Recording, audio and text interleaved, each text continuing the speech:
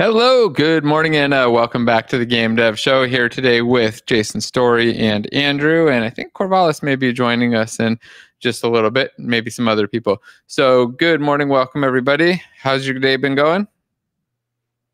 This is my first thing. Actually, I saw two jackrabbits in my backyard. I think one's pregnant, so I'm going to be a grandfather.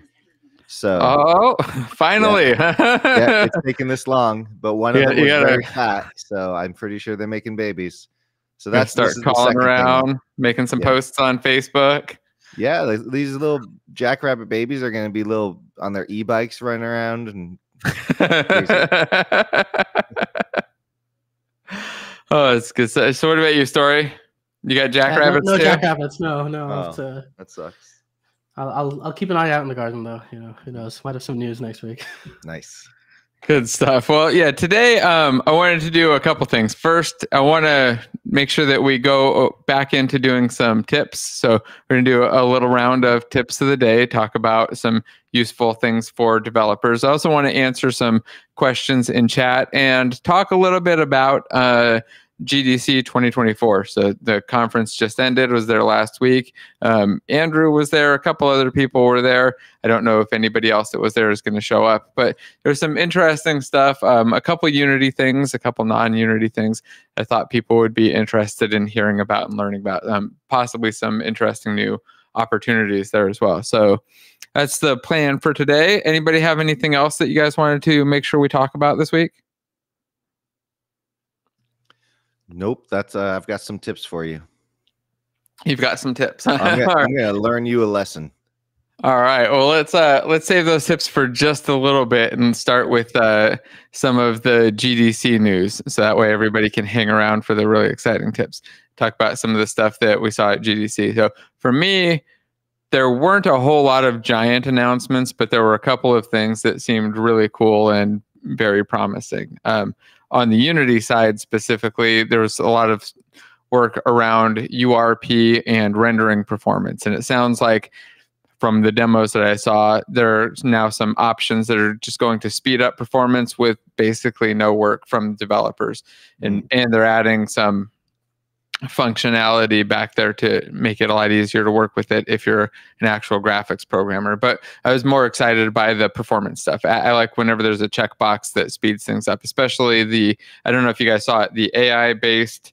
There's a spatial temporal post uh, uh, no some uh, some some letter some combination of four letters that I've lost track of that essentially does AI upscaling and the way that it was being explained is that it can essentially render the games down at half resolution, a quarter resolution, and then have that upscaler run, and nobody can tell the difference visually. You got to get down to 10% or lower before you could tell. And obviously, that means a huge performance improvement because if you've rendered a game at 4K versus rendering a ga- game at 4 400 by 320, obviously. Yeah. massive massive difference so that that was i think the most exciting and most promising unity specific thing but what did you see andrew well, wait, I want to touch on that for a second because I didn't see that, but I've heard you talk about it multiple times, including last week.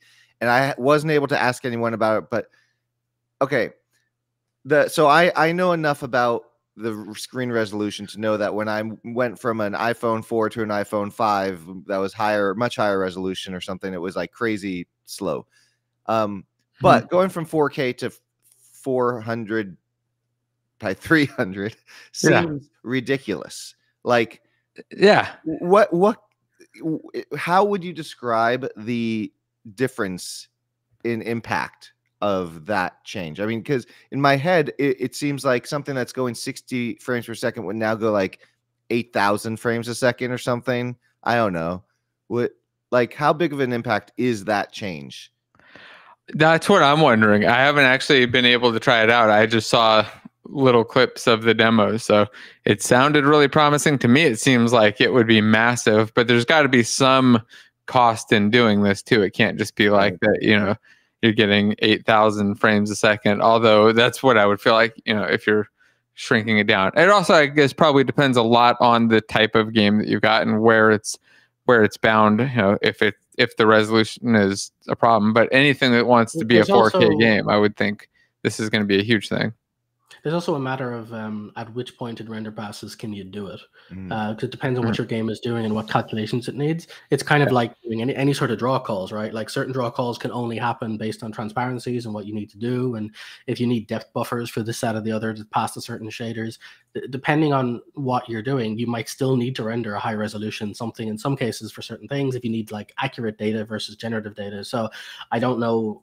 Yeah, I guess it really did we'd have to see stuff in action based on context. But I do think, but even just like data throughput, if you ever had to deal with any kind of file um, streaming or uh, try to do like, um, uh, yeah, a good example is video rendering. If, if you ever worked with any transcoding stuff of any kind, um, the difference between streaming 1080p versus 4K is comical. The amount of information, the cost of the, both the data transmission, the store, all that stuff, um, the the time cost of like transcoding in real time and stuff. So even even like cutting from 4K to to you know 1080 would be phenomenal. It's like half the problems with internet throughput is down to the fact that the bandwidth costs of 4K and 8K video have gotten really high. So um, yeah, like I can see it being a really big deal. I don't know from a speed and frame rate thing. I'm not sure simply because again, you're you have to offload the AI cost of actually doing it and whatever. But I do think in general, yeah, I, I definitely see it's going to be a big deal. I'm just a question of when and where. So yeah. Yeah. Yep. It seems crazy. That that's all. It's like a magic button. That's what it sounds like, and I want to press that button. That's what it sounded like to me. Th- There's also style transfer. Um, one of the older papers from um, Two Minute Papers, fantastic channel if you've not seen it. Um, basically, they look at any kind of research paper that's kind of a couple of papers down the line and they watch the progress.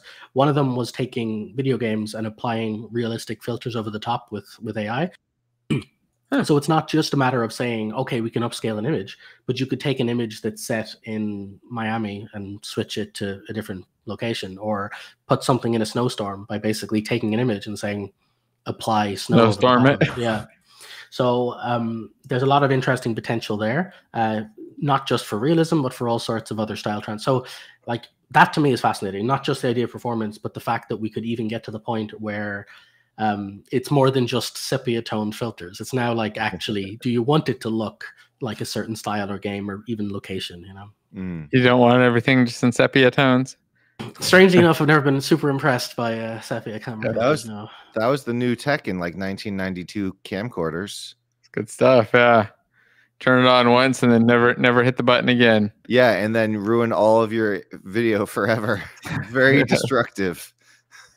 Yeah, so so uh, the, what we were talking about there was a new feature, and um, I, I believe it's part of Unity six and not out now in the URP setup, um, where they've got this post processing upscaling using AI stuff. It was one of the Sentis projects that sounded really interesting. Was kind of the combination of Sentis and uh, er- and rendering, which I think is where there's going to be a lot of game specific value for AI is in that rendering side. In fact, that's going to be one of the strongest points because it's kind of global and and beneficial everywhere. Like like Storey was saying, if you can make your game after it's rendered look like it's in snow, and magically that starts to become the type of thing you can do, um, it, it's going to be really powerful. I think I'm gonna have to learn URP.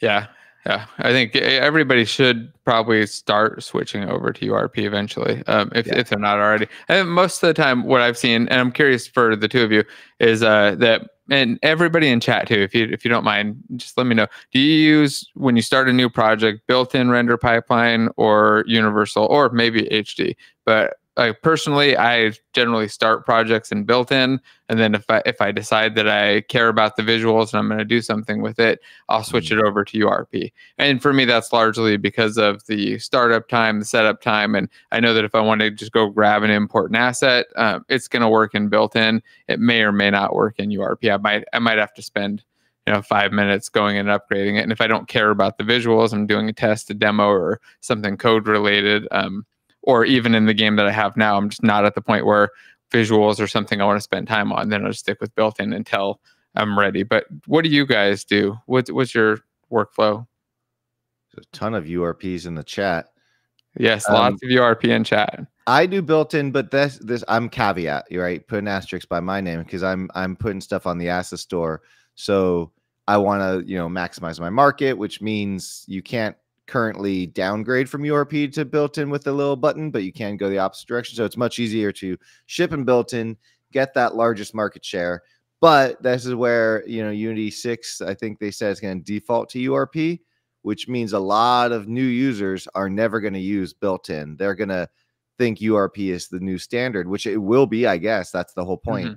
So at that point, it means, um, I well, I guess for a while I'm gonna have to ship in both built-in and URP because anyone using Unity 6 is gonna be screwed if I ship in built-in. They're just gonna get the pink materials, and I'm gonna get people messaging me in one-star reviews and stuff. So Yeah. um, currently built in. I've never really used URP. I have a little bit. I've used HDRP and URP just a little bit for. I've got these random ground textures on the asset store that nobody buys, but I used them for that um, and to do blending of the ground and, and all that stuff. So, oh, um, okay. yeah, So you're mostly built in, but largely just because you're doing a lot of asset stuff. yeah. But also, I'm lazy. I don't want to learn a new thing. Don't make me learn a new thing. I, you know, unless unless the new thing is gonna blow my mind and make everything better, don't make me learn it. Ju- if Uh, just before story way answers, everybody in chat, do you think that URP should be the default or they should leave built in as the default for six? Personally, Everyone- I think switching to URP as the default would probably be good, which is really Yeah. just a change in the hub, right? Yeah, Like yeah. it's literally just changing the default in the hub. But what do you think, Oh, Storey? Um, well, to, to first answer, like I very similar to what you said, which is when ninety percent of what you do is write code, then most of these questions are sort of irrelevant. And so I often start and built in because it's just faster. It just opens faster, it works faster, there's less stuff to play with. Mhm. Um, but if I'm ever doing GIFs or demos, which people have seen a million times, I'll always make little example videos. Uh, I'll switch uh, for that because the big difference for me, even at a small scale, is even out of the box the way lighting works. The default lights are just like a number intensity. But if you're using URP, you can actually set Kelvin values and things, which are quite nice if you understand like three point lighting setups and that kind of thing. It's just a little bit nicer for those. So I'll usually upgrade same thing. It's it's actually quite simple to upgrade. Um, it's like two two scriptable object assets, drag them into the right place, and it's pretty quick to get going. Um, so yeah, I normally start built in into URP. Uh, and then I'll occasionally play with HDRP just because it's shiny, especially the fog volumes. I really love the fog volumes. Mm. Um, but then to answer your question about default, I'd say it's about time. I mean, even though I start and built in because it's faster, legitimately, the, the problem I, I have in general is that the Unity ecosystem is so fractured that any standardization is good standardization. Um, I Mhm. think it's it's a hard pill to swallow, and I I go back to the biggest example of this, which is Unity used to have, and they still do technically, a lot of extension functions built in that were wrappers around get component. So every mono behavior could write dot rigid body and get get component rigid body pre-done for you as just a one-line thing. Same with get audio source, whatever. They didn't cache them even at the time, but they would basically have these getter functions because they wanted it to look like native behavior. And then they accepted that's probably not good practice to retain. And so they broke a lot of stuff when they ended up switching to the uh, C sharp side exclusively. Um, and a lot of people freaked out because almost everybody who was using the JavaScript style of writing, none of their stuff worked anymore. Um, and yeah, there was turmoil for a bit, but the truth is, that's one entire set less of things for people to support, problems to debug, issues to solve, and so on. And so, in my opinion, even if there is stuff that I use, I would rather them pick a lane and lock it in. And so, even I would even say the same for things like the input system and for whatever. I would want to see more standardization just so that all future documentations, rules, and stuff is at least consistent. Because then, if it's consistent and people have to use it for different use cases, you get more bug reports, which is more problems to solve, which means the singular thing gets better. If multiple people are using multiple different things because some are better for others, then you're going to end up getting fragmented use cases that only get more fragmented because they get fixed in the direction they're being used. And so you'll never get a cohesive answer. So, yeah. Yeah. Jason Storey for president. I think that that all makes sense. I think um, Jim's called something out here that's a little bit interesting too, and I'm curious what you guys both think about, this, especially Andrew, because you probably dealt with this a lot. But a lot of the it says a lot of problem with the URP is that a lot of the assets they try to convert just don't work without manual adjustments, and I found that that's usually when somebody has a custom shader on their asset to address something that wasn't there. Um, Yeah. do, do you think that that's a I mean, obviously it's a problem, right? But Yeah. is there a good solution to that to make it so that like things can get converted over? I mean, I'm I'm certainly no good at writing shaders, so I don't know if there's an easy way to convert over all the custom shaders. I I'm gonna guess not, but I mean, it, it- so the problem, as I understand it, is that URP and HDRP, those are also on versions and they change. So, and they always change in lockstep with the editor version. So, one day, uh, especially for an Astor publisher, and I think if if Pavel were here, from Nature Manufacturer, he'd he would cheer me on when I say one day you would probably have up- a lot of good stuff Oh, yeah, he would he would be fuming. Uh, they'll wake up and they'll find that oh, their package is broken, not because they did something, but because URP or HDRP suddenly changed and Mhm. broke something that they were relying on. That's the the the root of the pain, I think, because for most standard for standard sha- share things you can upgrade. It's not an issue. It's just a button. It's a it's a friction Yeah. point, but it's not an issue. But these custom ones is very hard. So the solution that I've had for my shaders, because I have a few shaders that are um, custom, so I've made HDRP and URP versions, is to use Amplify Shader Editor because with that I can make the shader in built-in, then bring that shader into a URP project. It will work in URP, export it, bring it into HDRP project, export it, save those as Unity packages. Then it will work. You just have to extract that Unity package, and the shader, the material will, will no longer be pink. It's not a very good workflow for users that bought the stuff, though. And if the artists aren't going in and updating things, Yeah. which they're the definitely aren't going to do on most stuff. screwed. Then that's why you get some stuff on the Asset Store that's compatible with with uh, URP but not built in, because Yeah. they did, you know. But and I understand Shader Graph can do more of that now. It didn't use to, Shader Graph originally, if I'm not mistaken, was URP only, which really I never used it because of that because I was not going to use URP years ago and um, I couldn't do a URP only thing. So I never, I've never actually used Shader Graph. I understand that might be different now and, and probably will be different in the future. So maybe it's time to start using Shader Graph. But yeah, Storey? I, agree. Like I don't really. I, don't- I Yeah. don't, I, I, yeah, pretty much say like I don't. I don't have a lot to say on on on that to be honest. Um, I don't. I don't do a lot of shader work personally, so I. I as much as I have strong opinions, as everyone knows, I try to keep them the stuff that I have firsthand experience with. Um, and so for me, I often work with artists, and so I tend to. I wouldn't want to step on toes for for workflows. I would say just for me personally, though, like I said, it's I, I'm more looking at the long term effects of um, the environment and the guides and the usage, and that's why I, I Mm. favor the the sort of because I've seen fragmentation in other fields. It's it's why Android was such a nightmare to develop for in early days because of screen size resolutions and stuff. So to, I'm just looking at the macro problem, but on, on a like on the individual stuff, I hear a lot of stories from people about um, this render pipeline missing a feature or shader graph not having parity features for this or the UI platform not having these particular features like world space rendering. Um, but my answer to that isn't okay use the old one in per- perpetuity because again you get back to the well then there's no ever there's never a reason to upgrade the new stuff. If the, if the new stuff replaces and it doesn't have features you want you've got a very justified angry mob complaining that it's missing features and now it has to be fixed. It's no longer an optional thing right? So it there's there's pain points and if if if we were removing one engine to move to another and you could never use the old one then i could have i could see an argument to be, to be more cautious but in a world where all old versions exist and you can just use one and not upgrade where needed that's fine. But when there is an upgrade down the pipeline i think that's a really good candidate to bite the bullet and make hard choices to like have a friction point. Because if you're going to have a friction you might as well do it properly and like use it to really enforce change.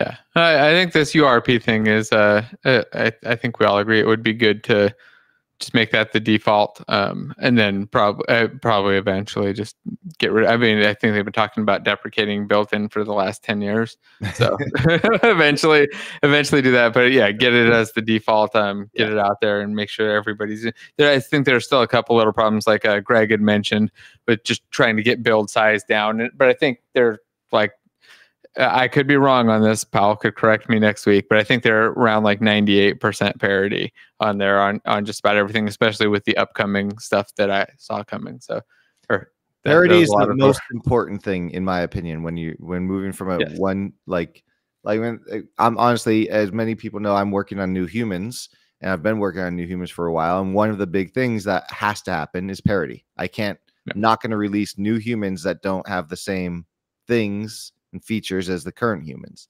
Um, parity is important when you update. Yep. By the way, if you're watching live, don't forget to hit the like button. Good, good call, Martin. um, so yeah, other GDC stuff. I'm curious, Andrew, what was the best thing that you saw, or is there anything that you think everybody would be excited about? I've got a couple other little things, but so unfortunately, I only got to walk around on the show floor for about two and a half hours, and most of that time was literally for the day job. So I didn't get to see everything on the show floor. This is the first year in many, many years that I've not seen the substance designer or substance folks which I don't know if they were there. I didn't even see the booth, so maybe they weren't there. But I always like to go say hi to this one guy there who's been very nice over the years to me, uh, Wes. And um, and so I was very disappointed this year.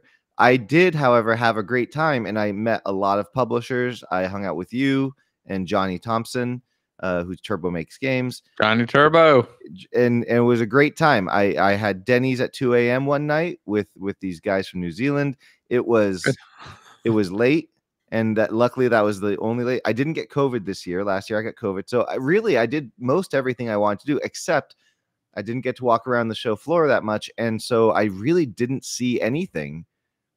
That, oh, okay. That is interesting because I just didn't get to. In that, well, you, you saw you guys. You said you got to talk to some publishers. I got to talk yeah. to um, a bunch. I, I, had to interview some. I'm sure saw but uh, some of them showed me some interesting stuff too. Um, Brian, I think you know, was showing off this new UI system that they've put together and they started announcing and releasing, which I thought was kind of interesting. I'm curious to see if that how that's going to integrate into game stuff. And um, Adam from Procedural Worlds was showing off this uh, UI or not UI, um, terrain system where he had a 900 kilometer area, all rendering, streaming, high speed, um, and looking really great. Uh, it was like a 30 by 30 kilometer area. I thought that was pretty interesting. I don't know if you got to see the the previews of those, but I did. They showed me some videos and they look looked really cool. I also, I think I, I told you this, but I didn't tell everybody else this. I got to meet the uh, the Protofactor guy. He was oh, yeah. there, and I found out he lives right down the street from me. I was like, oh, this was this is amazing. Small world. So we have to get together soon and uh, start doing a meetup or something. I'm actually using his stuff in uh in my game project, his and uh, some of yours. yeah. They do actually. This is the the Protofactor Infinity PBR stuff do work pretty well together, which I appreciate because they have a huge library or he has a huge library. It's a is a crazy library of cool stuff, and yeah, it, it actually looks really good together. Um, I wait, it's gonna look better once I switch it over to URP and put a light in there. Right now, the lighting is 100% default, and my terrain is flat with me drawing four different textures. I was actually talking to some artists about a uh, level stuff earlier though, so maybe do something slightly prettier than programmer art. I'm uh, surprised uh, you didn't go to the AI for for basic textures just to pop out four textures. No need. I already have a million and a half ground textures. Okay. I, it would take me more time to do that than it would to just search for my ground textures and go pick four of them and pop those in. Yeah. Uh, uh, way, way more work. Yeah. and it wouldn't look as good either because I'm not an artist. I would come up with something shitty and just pick an ugly one instead of the ones they picked. Yeah, I found the same for like icons too. I, I, went to look at icons. I was like, oh, I can generate icons. I was like, what am I doing? Like, I have oh, literally packs of 5,000 icons and I have multiple of those. No yeah. problem finding an icon that I needed, and, and they look better. yeah, and you're not going to get the consistency eye yet unless you no, build no. A, a, node graph yourself or something. But that will take a long. You know, and I'll, I'll save the actual like the super pretty work for an actual artist or designer. I just need something that looks good enough. Like I need I need the Warcraft icons. You know, everybody's got the World of Warcraft icons. I, I can have those too. It'll be fine. oh, oh, looks like we might have a Corvallis. Um. So yeah, anything you didn't see anything else though super exciting? Unfortunately, no. Um, okay. Not because there wasn't anything there. Just because you didn't get a chance. I didn't get to see yeah yeah so there was um uh, there were a couple things that i saw that i thought might be interesting to developers one was that discord i don't know if you heard about this has a new game system that they're starting to promote and they they set up a game jam where they're taking ideas for games that are built and run in Discord. You basically build a WebGL game and it runs in Discord. Um, they're doing grants for those games. I think they said like up to fifty thousand uh, dollars, and then by the end of the year, they're going to have a monetization system so that you can monetize those games inside Discord. It seemed like a really good opportunity because they've got a fucking captive market, right? They've, they've got millions of users that are all game players sitting there that they can just pop stuff up to whenever the hell they want. So it seems like they've got a good opportunity there. Um, and yeah. it might be a, a good time to kind of like break in somebody looking for a new market something to get in on early. And they weren't just looking for games they're also looking for interesting game-ish apps and game related apps and stuff so. One of the kids in uh, my friend's kids like she's probably 11 i think surprised me. Last summer she was playing games on discord. She's like oh i just play on discord. I'm like what? Yeah. I didn't even know you could do that. Yeah and, they've got uh, a couple on there now yeah, and so and I had no idea that she, but the, you know, if that's what the kids are doing, right, then I would say mm-hmm. yes, do that too, because that's going to be what they want to do in the future. So get in early, devs. Yeah. Yeah, I feel like it's a, it's another one of those like early. It's an early market, but it's an early market that already has a shitload of users. You know, it's not like an early market where they have to go sell a device and and get people on. All they have to do yeah. is pop something up that is interesting enough. Um, I mean that that's that's part of the thing that always gets me. Uh, you know, we're in this world where we're talking about the highest fidelity, the big biggest resolutions, and then you see the kids and they grab their Switch, take it off the big screen TV, and just sit in the corner like this, playing on the small screen. They prefer that, and then you got other kids choosing to play Roblox with the crappiest graphics ever, no shadows, and they play that for hours and hours with their friends. And it's like, wait, uh. wh- why are we focusing on on the highest, you know, fidelity stuff when all the kids are gonna not give a crap about this? Design trumps fidelity. And I heard grants and came as fast as I could. yeah. Well, you should check it out. I'll send you the guy's info too. It, it looked interesting. They've got um, I think six different categories, and you can enter your game idea. I don't. It doesn't have to be a working game, and then they'll pick the ones that they want to fund. And I think he said it was up to fifty thousand um, dollars per project. Um, I could be mixing that up with one of the other grant things that I heard, but nice. uh, I think that was the number. So it sounded interesting, and then obviously the the monetization afterwards sounded even more interesting. It sounded like there was opportunity to have you know good good number of users, if, especially if you're early on. I feel like getting early in on any marketplace is always beneficial, especially if the marketplace is huge. What do you what do you think in those story? You've done this quite a few times, like gotten in on new stuff. Um, um I'm probably a bad candidate in this one simply because uh, I'm. A, to, to be cautious on the phrase, there's a, a term called enshittification that refers to platforms over time that slowly pivot their market from trying to provide value to the consumer and try to provide value to their shareholders, which mm. is understandable and eventually happens. Um, and let's just say Discord's original sales pitch, it's no longer doing what I wanted and now seems to be doing other things, which is fine, but it's the I'd be cautious on the captive market audience simply because I have been using Discord for God knows how many years, and I have never once. I have frustratedly closed that game tab every time it pops up of its own volition without asking me. And it's more and more buttons are showing shops and things for sale, and more cruft I have to deal with. And so let's just say if a good competitor comes up anytime soon, it's a bit simpler. I might switch. So I'm, I don't know. yeah, Eventually, but yeah, but they've got, got a captive market. That I feel like they've got too many users there. It's going to be difficult to to compete. Yeah. Yep, it's kind of like with current social media apps too. You we would all love an alternative. Can anyone say they enjoy Twitter slash X? I'm but used to you're there because other people are there, and thus you kind of have that lock in. Bonus points for server lock in, where people unironically do business on Discord. Will it be for games and apps? Questionable, but there are definitely a unique. You have a very specific subsection of people who are power users for Discord, and they probably will be the heavy users of stuff like games and app services to see where that goes. Yeah, my Very son is a Discord programmer addict. Just like It I, I- I mean, I mean, you say that when it comes to power users, but I mean, if I say Control slash or you know Control K to the room here, I don't think anybody uses those keyboard shortcuts in Discord, but they're very important. I mean, I, I would mildly classify myself as a power user in that category, but Well, Even Jason, I'm you're a powerful person, okay? You don't count. but I, I just yeah i do think it is definitely an audience thing. It depends on who you're who you're engaging with. And there is streamer culture in younger generations. There is certainly people play games differently and do different stuff. So i don't i'm not saying there won't be a market but i do think if you do enter that area you're going to have to um, target to the right people you know? You'll have to understand who your audience is and who plays those kinds of games.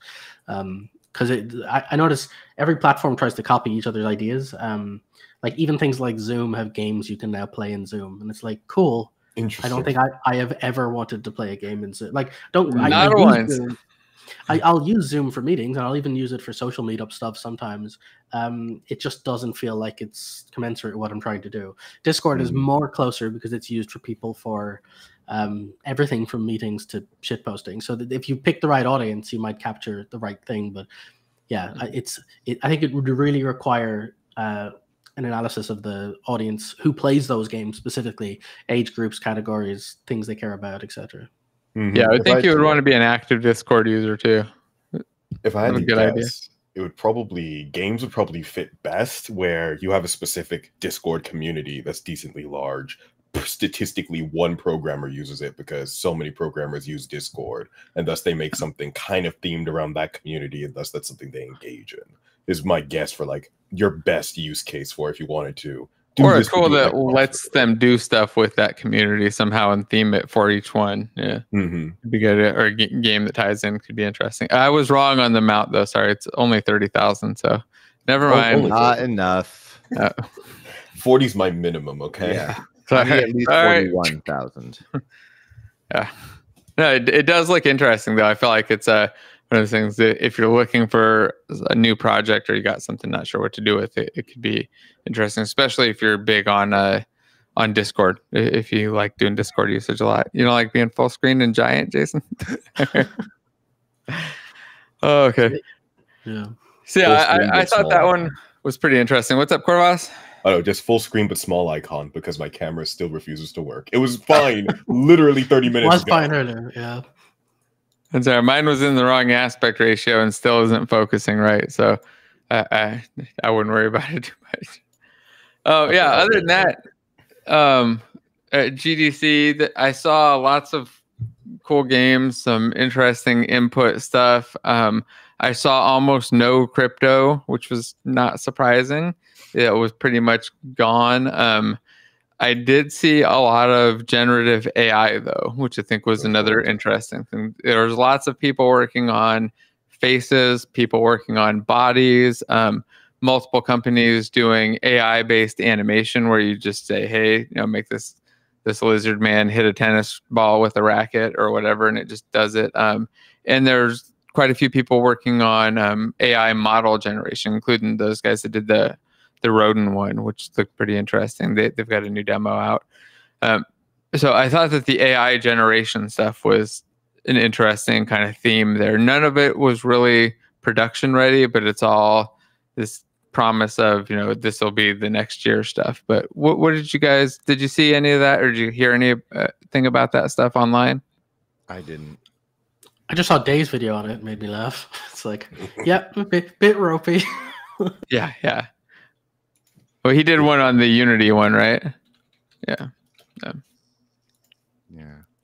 Well, it seems like. What about you, Corvallis? You, you've been watching this. Have you seen all the generative uh, animation and model stuff lately?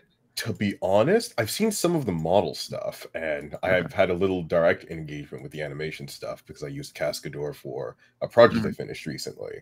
But for where it's at, it's really good to help you get started faster in a nice like toy sense where if you just like want a model and but you already know what you're doing for modeling you can spin up like a little prototype faster. Again ai gray boxing is where a lot of it's at. And i'd Yeah. say for even like animation stuff cascadeur stuff is decently mature where it's much more of an assistant where it just helps you get from one frame to another and it cleans up your in between somewhat but there are definitely areas even in a, poli- a product i'd say it's definitely polished like that where it is being a bit too opinionated. So, for example, it has like an auto physicsing feature where you can move a character and it then tries to guess every limb movement that logically follows along. And a lot of my animations, it just broke. I, I couldn't really use it for my specific use case. So we end up just using the normal rigging system. And it's Mhm. decently intelligent curves. But yet again, there's uh, one animation of my project that I'm really glad no one frame by frames because if you do, you'll see the character's spine 180 degrees for about two frames and then snaps back because the uh, interpolation could not figure out how to twist that properly. Let alone, two, for whatever AI app you're using, there's always some level of friction taking content from one program and putting it in a new ecosystem. No matter how seamless the pipeline may be, there is a friction there. So, like Cascadeur to Blender to a game engine is three different hops and three different potential sources of things going wrong. If you want your I most ideal AI tool, it should be some kind of integration into software you're already using because the AI Yeah. tool is already likely to make a mistake. Exporting it adds layers of potential mistake and cleanup. Yeah, that makes sense. Uh, yeah, I, I I'm excited about it because I hate doing animation. Um, Based. and my default is to go to Mixamo. So this is like a, a nice step up and not I mean, every now and then I have to reach out to an actual animator, but most of the time I I really, really try to avoid it if I if I don't have to. And for me, hard. what's up, Andrew? animation's hard. It, it's just it's a hard task. I've Mhm. always found that like I just don't have enough animation work to justify an animator full time on most small scale projects. There's just not enough stuff, but you need a little bit of stuff, which makes it really difficult. Like Yep. Like you just need a slight tweak to this walk or a grab for like this particular thing for the purpose. A lot of my stuff I have to kind of custom bootleg, so Mm. I definitely get it. Uh, something that could just very quickly whip up a base that you can then edit is again where I really like where AI can be. Is for Yeah. me, I can animate. I wouldn't say I'm good enough to be a dedicated animator, but I can fuck with something that exists. So give me something basic, I can then tinker to my use case. Mhm. Yeah, my, my problem is just patience. Um, Mhm. Animations to do it properly with the whole various animation rules. Sure, I can have some base keyframes. I can even nudge some stuff, but once you start looking at like you know shifting feet and you know how hands how wrists rotate to get things to feel right with weight and composition of things it's just it's so much tweaking like Mhm. I, I'm bad at it. Like we again, I watch videos at 3.5x speed. Like that's how little patience I have in like normal day to day. And if you're sitting there having to go, okay, this 15 second frame, I have to make sure that at every point the the weight of the carry through from the kinetic, it's just I can't do it. I, I've so many times I've tried, and I know it needs to be done. Like I'll find tons and tons of reference material, and I'll frame by frame it, and I'll watch stuff, and I'll watch the like um, follow through with animation, and I'll try to do it, and I always end up going that's enough and leaving with stuff that's terrible because I just don't have the patience for the amount of work required to really do it properly. Yeah, it's it's a whole skill investment. That's why I say I do it like as a tertiary thing, but to do it properly, you're spending coder levels of time, system design, and knowledge into it. It's just a it's always a trade-off for how much am I willing to invest in it. You could probably get it done to a high quality, but you know, that time, that triangle of time, quality, and cost. How much time am I willing to invest to get like a certain quality level versus I just pay someone? Yeah. Uh, I think Jim just shared this uh, Meshcapade. Apparently, Games from Scratch did a video about it. I've Hmm. not seen this one. It looks pretty interesting though. Meshcapade. Is it like AI generating the, both the mesh and the animations? Motion from text, motion from video, body shape from images. That's the three things. Yeah. My I I I haven't watched the game from scratch thing, of course. My experience in in like mocap, from what I've heard, is a lot of animators will be like, "Oh, I could do mocap, but it takes longer because I have to clean it up so much. That's faster just to make it myself."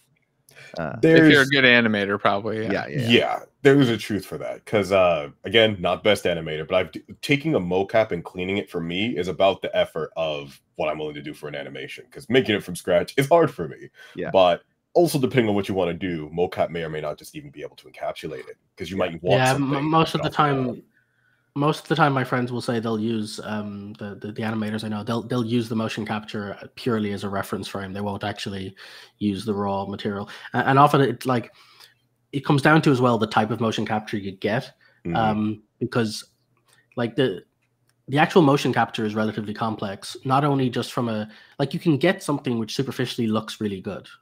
Like there's so many cheap suits now. You can buy a motion capture suit for about eight thousand, which will be more than good enough for everything you'd ever really need um, because it's just IMU sensors in like an array that then uses sensor fusion to calculate stuff, and mm-hmm. it's good enough to like record and, and get something. Uh, you can even get cheap ones for seven or eight hundred, but like the point is, even if you get your full perfect recording, the problem you have is you always need something like external sensors to get your kinetic um your your kind of kinematic stuff right? Because even if you have a perfect match motion if someone jumps you can't detect the because all sensors jump right? There's no mm-hmm. where was the floor? How do you know they actually jumped? Right? So you end up with just it just looks like a pose change. So good sensor stuff has external cameras plus the sensor suit plus all the other stuff. And so the point is even if you have a per even if you don't get sensor drift which you will because every single sensor will have drift mm-hmm. even if mm-hmm. you can aggregate the sensor drift and average it out it looks fine you'll always get some weird behavior, specifically around things like jumping or uh, feet positions or whatever. And then even if you have all of that correct, um, you're not you're probably not wasting your time with hand sensors because the glove technology is actually often different. It's a whole different thing that you do as a second layer. Same with like face stuff. It's so it ends up being a lot of like two or three different systems working together to build something when on balance 90% of stuff can be just you know done as a, especially for like large motions uh, obviously, facial capture is usually still done with the actual capture because it's much harder to do that practically. But body language and stuff, almost it's almost always easier to, specifically in small cases, to do um, like hand gestures, talking, picking things up. It's just faster and easier for for most people. Mm-hmm. A point in um a point in motion capture's favor, but it is contingent on the user, is for stuff like character acting, adding flavor to a walk. If you know people who can do the physical acting part of fleshing that out, it can save you that because for a normal animation, you might not know initially the full flavor of the walk cycle you want. But if you have someone who can do that and they know that intention, you get it decently quickly. And at worst, you still just generated really, really good reference for exactly what you want. So definitely in the favor of if you can do it, just with the capacity that you have. If you know someone who can do yeah. that, it just requires like actual the physical desire to act that mm-hmm. out and capacity to do so convincingly. But I've seen some plus, crazy physical actors that like yeah yeah like, me away. Plus the other part of it too is like again without going into super super weeds on this, um, there's so much technical information. Um, I have a friend of mine who's a pencil drawer for characters and um, portraits, and the amount of information they know about you know different bone lengths and distances and that they they know that the, the spine rotates at three different points and the rotations are at different degrees and there's only a certain amount. And so you can tell when someone's maximally rotated and how like all of this stuff that i don't know but they need to to kind of get this stuff right. Um, with, with a walk cycle for example um, you won't notice it consciously but i guarantee if you took a a, a mocapped children child walk versus an adult walk and applied that to a character, you can tell the difference because there's a, there's a certain body language difference to do with there's all, like everyone has these different things but there's like a whole concept of feet pronation mm-hmm. and how how much foot uh, heel toe to the ground you have and whether you slide your feet or whether you don't slide your feet the inner gait of the, the how your thighs sit so there's like so many of these little differences between men and women between you know children and adults between people of different weights and size like so much stuff that if you're applying the wrong um, walk cycle to the wrong character, it'll feel off. And um, yeah, it can be very interesting. But but again, the difference is if you get it right, there's something intuitively really accurate that you can tell is just infinitely better than the alternative. So yeah, there's a reason why even when people are doing prop animations for motion capture, they'll still hold props because you mm-hmm. need that sense of body weight and motion to match the appropriate stuff. Yeah. Absolutely. And hey, if you have good hand sensors, God, it saves you time on hands. Hands, so many fingers, so many joints, so many places where that can go wrong. Mm-hmm. Yep. That's why people don't show hands in the games. Mm-hmm. Here, let me give you this. Cut to the face. Appears in my hand. Perfect. I will say though, like the one good thing about hand stuff is you can often do blends, which is quite nice. Like a lot mm-hmm. of the mm-hmm. time, you don't need each individual pose. Like, mm-hmm. um, uh, I, I know someone who's working on a project where they're trying to do a uh, animated piano player, and they're talking to a real piano player for how like how do you actually play them and for these particular notes and scales, and where would your hand rest in these positions, and you can actually approximate a lot of it by doing Mhm. transitional poses and phase. And it's like because there is human flourishes you won't get right, but you can get seventy percent of the way there. And I think back to games which have things where characters would hold objects. There's actually a few assets on the asset store which you can show a capsule, and then when you um, place an object in the hand, if you rotate the hand, it'll just find using ray casting, it'll find points to place the fingers that will have a semi-accurate holding pose for that object. Um, so there's lots of ways to do it, but oftentimes in most cases you can literally get away with, uh, you know, grabbing a small object, grabbing a large object, having various points. You can get away with a lot of basics, you know. And if you go fast Mhm. enough, no one will notice. True. There, there are several points in your animation that may look very bad because you have the God's eye view and you can see where it breaks. If the user doesn't see it, it might be good enough. Yep. Professionally, clean these up. For your use case, you just need an animation. Good enough is good enough. Yeah. Cut cut make do your your your third person view to cut off the feet. And then you don't need to worry about feet sliding. Hell, Mhm. That's- even uh, like Pixar, for example, has the classic scene with like Woody and Buzz standing next to each other. Woody's foot feet are clipping through the floor, but it makes for a better shot. Hide it, cheat the shot. Yeah, it really is one of those like it is worth knowing what's worth the energy. Um, like it's it's one of those things like if you ever actually think about it, that this, this goes back to I've said before about doing magic and magic tricks and stuff. Uh, one of the most fun things about doing magic tricks is if you do a trick for somebody, um, there's a couple of things you can do called priming, where you will set up a set of rules in advance that describe a scenario, and then when you're done, people will rewrite the story and as they tell it to others. Without going into a whole lot of nitty gritty details, the, one example is there's like one trick out of a set of 20 might require the deck to be in a shuffled order. And so you might at some stage do a swap to a deck that's fully shuffled in a certain way. And then you would, middle of your trick talking, you'd do a false shuffle and you'd hand them the deck. Um, and you'd say halfway through when the trick is past the point that it matters and tell them to shuffle again. My point is, halfway through a trick with a shuffled deck, you would say, shuffle the deck again.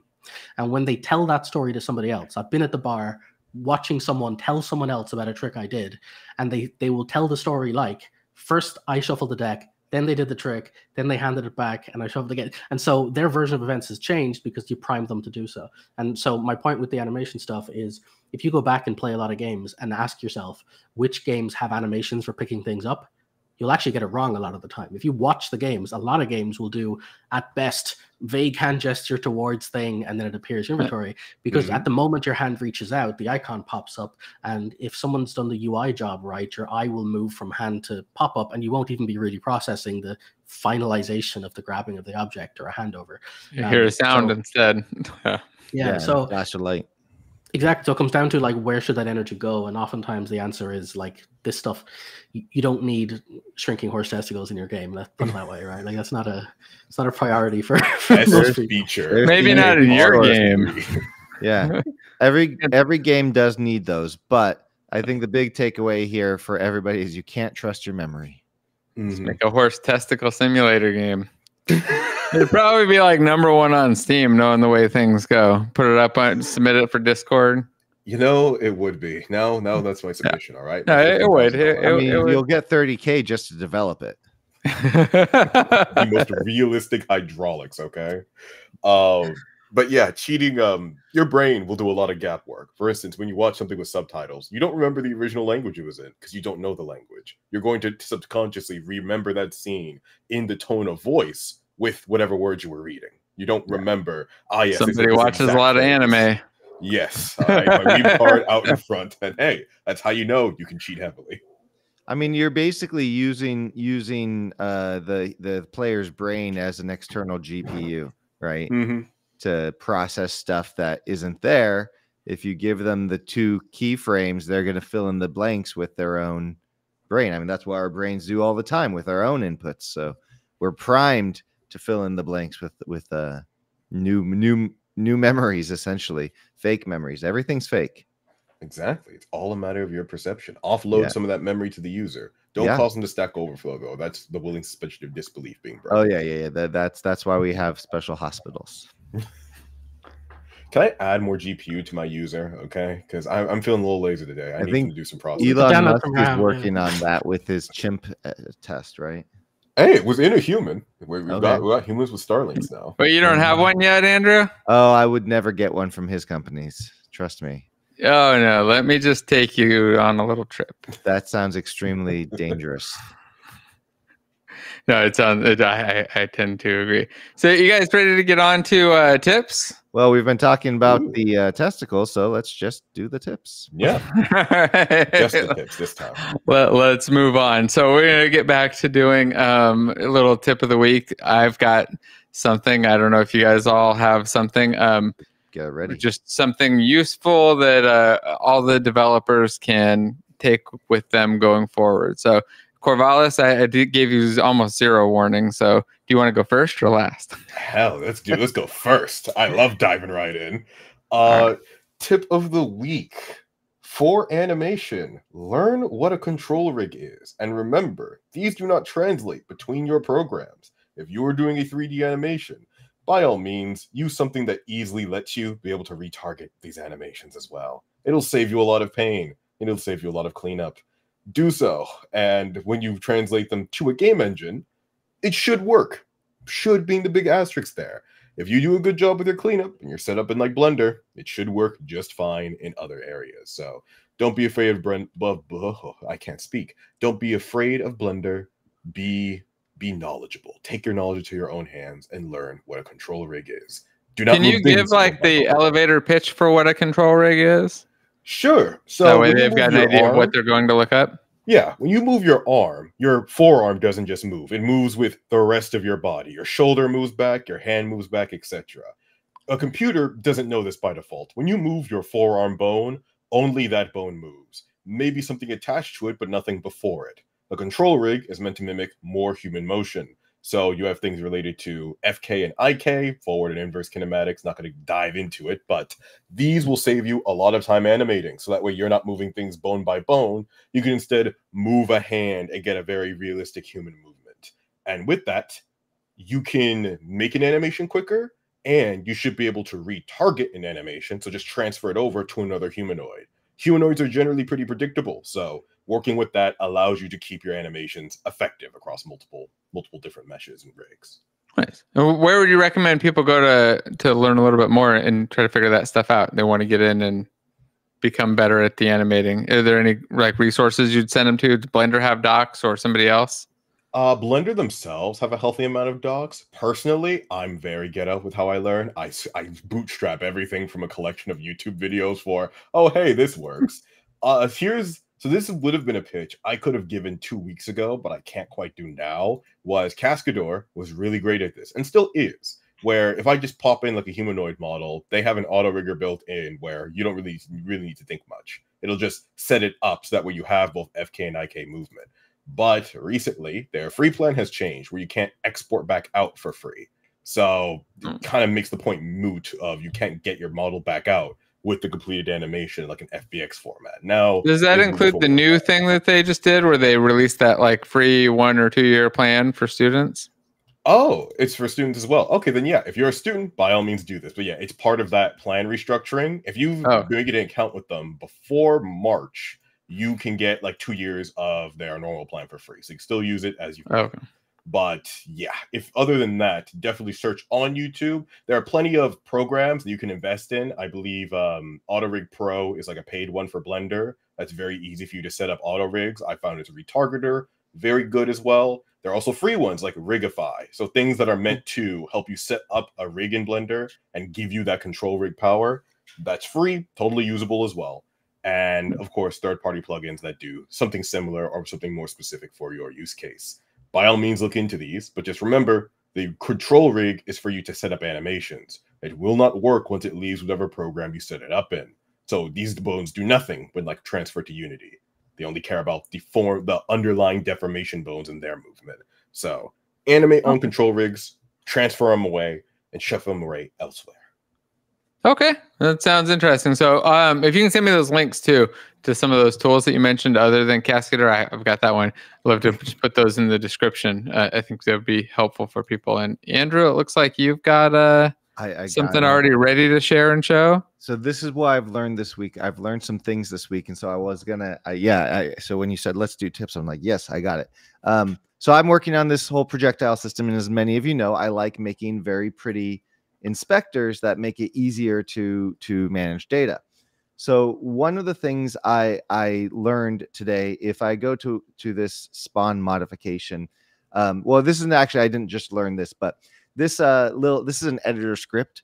Um, I'm gonna go into Rider and we'll show the the spawn modification editor. It's an object called spawn modification, and and I should have brought this one up. I didn't bring this one up.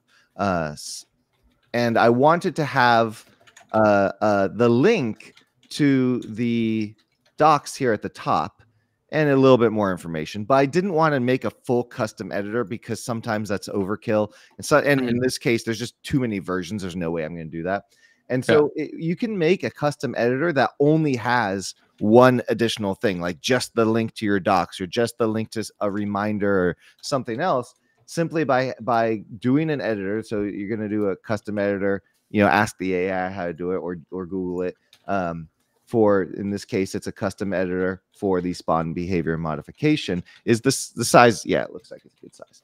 Um, and then on your inspector GUI, you just do all this regular stuff that you, all the cool custom stuff that you want to do, and then just draw a default inspector, which is really, Oh. uh, well, I mean, I, I've got my own helper scripts, so it's a little bit more complicated, but it's essentially just say, um, draw default inspector somewhere in here. Um, yeah, it's where is it? Wait a minute. Why is it so complicated? It's extra complicated because I've I've made it. You've got a property field for it. The other thing you can do is call like Here the base on inspector GUI. Yeah, Um, we'll also do that. yeah. Ask the AI for the simple version. I'm doing a lot more because I'm also saving things and doing Yeah. other things. But um, you can do a very simple uh, uh, bonus inspector and then add new stuff. That was one thing I learned. But I learned two things that go in well together uh, that were brand new to me this week. So when I when I go to these uh, to this this inspector for this projectile object, there's a lot going on here. There's these behaviors, modifications, all these different behaviors, and each behavior has different options. They do different things. They make the projectile work in different ways. And the way Mhm. this works is that each one of these is a scriptable object. So there's all these different scriptable objects, and each one will have slightly different settings. So you can have a setting that makes it go to the right, one that goes to the left, one that goes up, and all these different things for your different projectiles. So I wanted to be able to see the values in my inspector and change them without having to go to each uh, individual object. Because if you're like me, you hate having to switch inspector views back and forth and then forget which one you were on and have to go search for it. Very big headache. So I learned that you can create custom attributes. Now I knew you could create custom attributes, but I had never done it before. Um, so that's that's that's the first thing I learned. And if I look at my spawn behavior class here, you can see that in addition to the tooltips, which I always use, in addition to the min values and the ranges that you should be using for for uh, reasonable inputs, so that people don't mess up and get, do something crazy, I have this new show in projectile editor uh, attribute with even a field label that gives me what the text will show, and all this is is is uh, this one little script here. It's a new class for that. It's a system attribute. Um, we have our, our string here, and uh, when we call that attribute, we just have this little bit of text, and then the editor does does the rest, and I'll show that in a second. What's interesting about this is this is the surface. I've just done. I've scratched a little bit on the surface. Mhm. I am sure there's a hell of a lot more I could do with this if if I had my wits about me, right? Um, but the implement the impl- implementation of this um, is quite simple. You just put that there uh, above the the thing, and actually, I I, I um, the actual thing I was going to show is the spawn be, or yeah the modification editor. Um, no, not that one. So, but anyways, we use it here, and then it, it pops out, and now I've got my little drop down here that shows all these values. The tooltips are shown right here. If there's a tooltip attribute, then I can show that. It's another editor script. Mhm. The headers get shown here as well.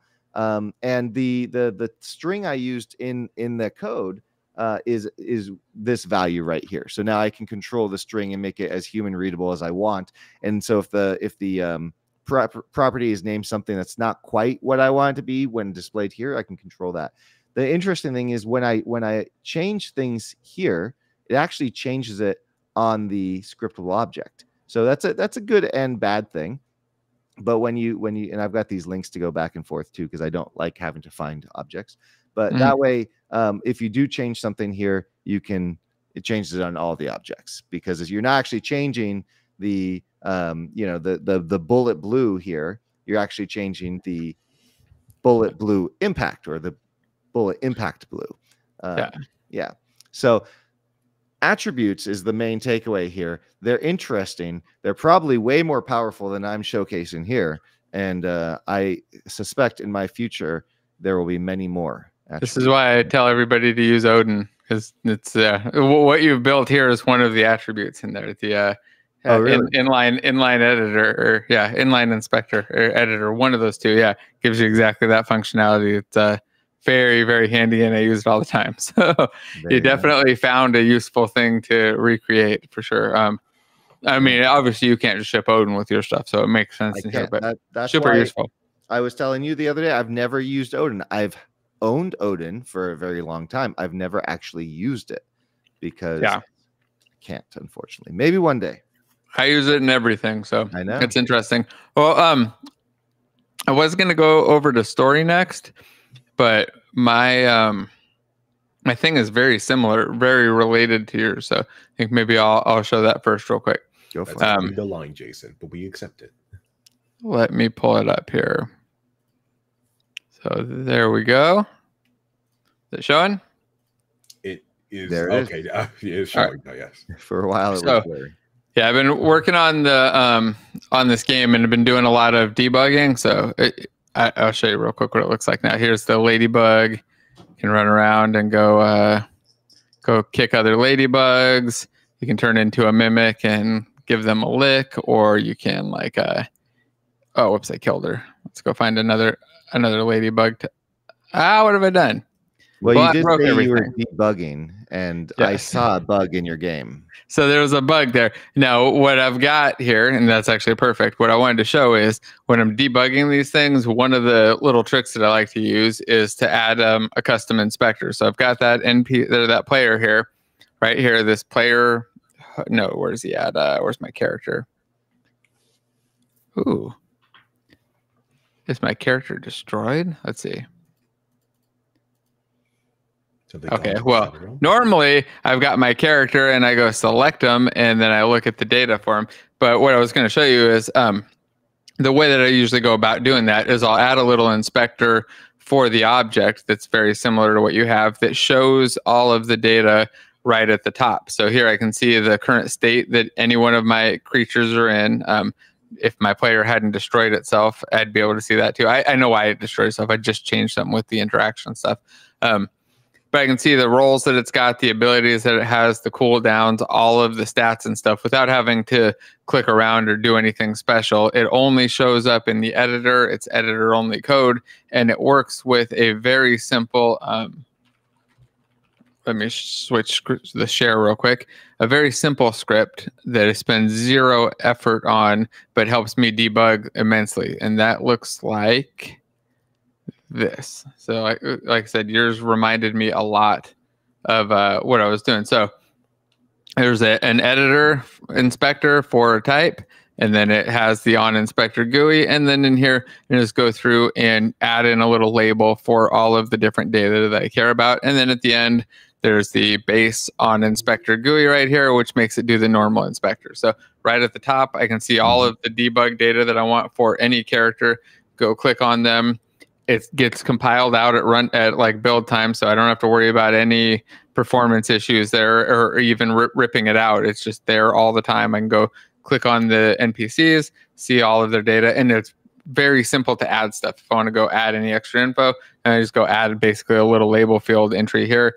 Makes it like I said, super fast for debugging and stops me from having to do as much attaching breakpoints and trying to figure stuff out if I don't know the state of things, especially when there's lots of things where the state is moving constantly. Another trick that I like to use with that too is so um, on things where I'm trying to figure out why it's making a decision or what's going on. A lot of the time, I'll do a, a simple setup like this where I give the thing a message field that I can fill in with info if I want. And then what I'll usually do is like at release time, we can just rip that out because it's just a couple useless allocations.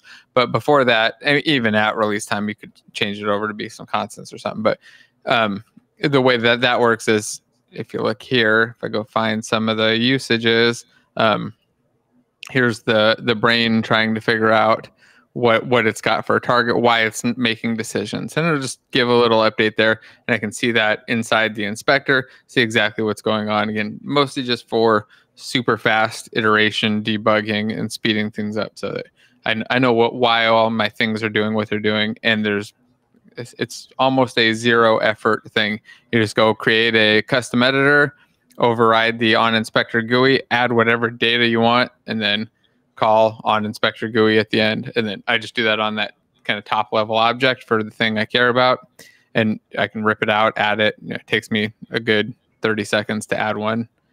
So that was just uh, something that I realized that I do a lot, and people probably don't know about. People probably go, "Okay, if you're going and looking at debug properties and right clicking the you know show properties and then going into debug mode and trying to find all that stuff, much easier if you just spam it out there. And it's also a lot easier than putting it into console logs where you're trying to figure out what's going on with things. Console logs are great for like one-off events, but not so much for data tracking. Mm-hmm. Mm-hmm.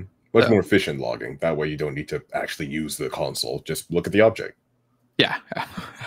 that's that's that's that's the goal at least. Um but yeah, that was uh that was my little tip there. Hopefully it's useful for people. Um able to use that in your own stuff. Also, for the students, let me find that little link here. Uh, put putting the code up today for that project. So if you want to go see the actual code, the um, I put it up for the multiplayer mastery course students before there's a previous version, and I put up the new version of the code, so you'd be able to see that and strip that out, or um, all of the other code side stuff. The assets obviously can't put in there, but um, it would be nice if I just owned everything and could just ship the assets too. But Andrew, are you frozen? No, you're animating behind.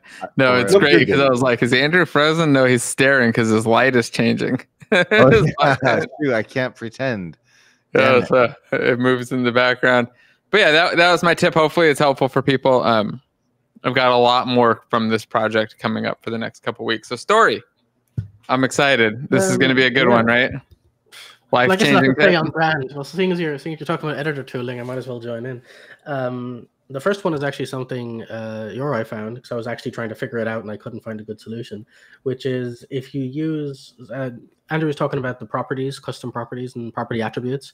Um, one thing you'll find if you apply a property attribute to an array is the attribute will apply to every child element of the array. So if I make a property drawer and it's meant to change a certain element, let's say a string makes it read only or something, and I apply it, it'll apply to every child element in the array, which is cool. That's like a pretty quick automatic feature, but you can't modify the entire collection. If you wanted to like paint every element in the array red or something, you couldn't modify the collection, or in my case, make it a um, paginated the actual array itself or something or at least that's what I thought. There's actually a constructor override for called apply uh, apply to multiple or something.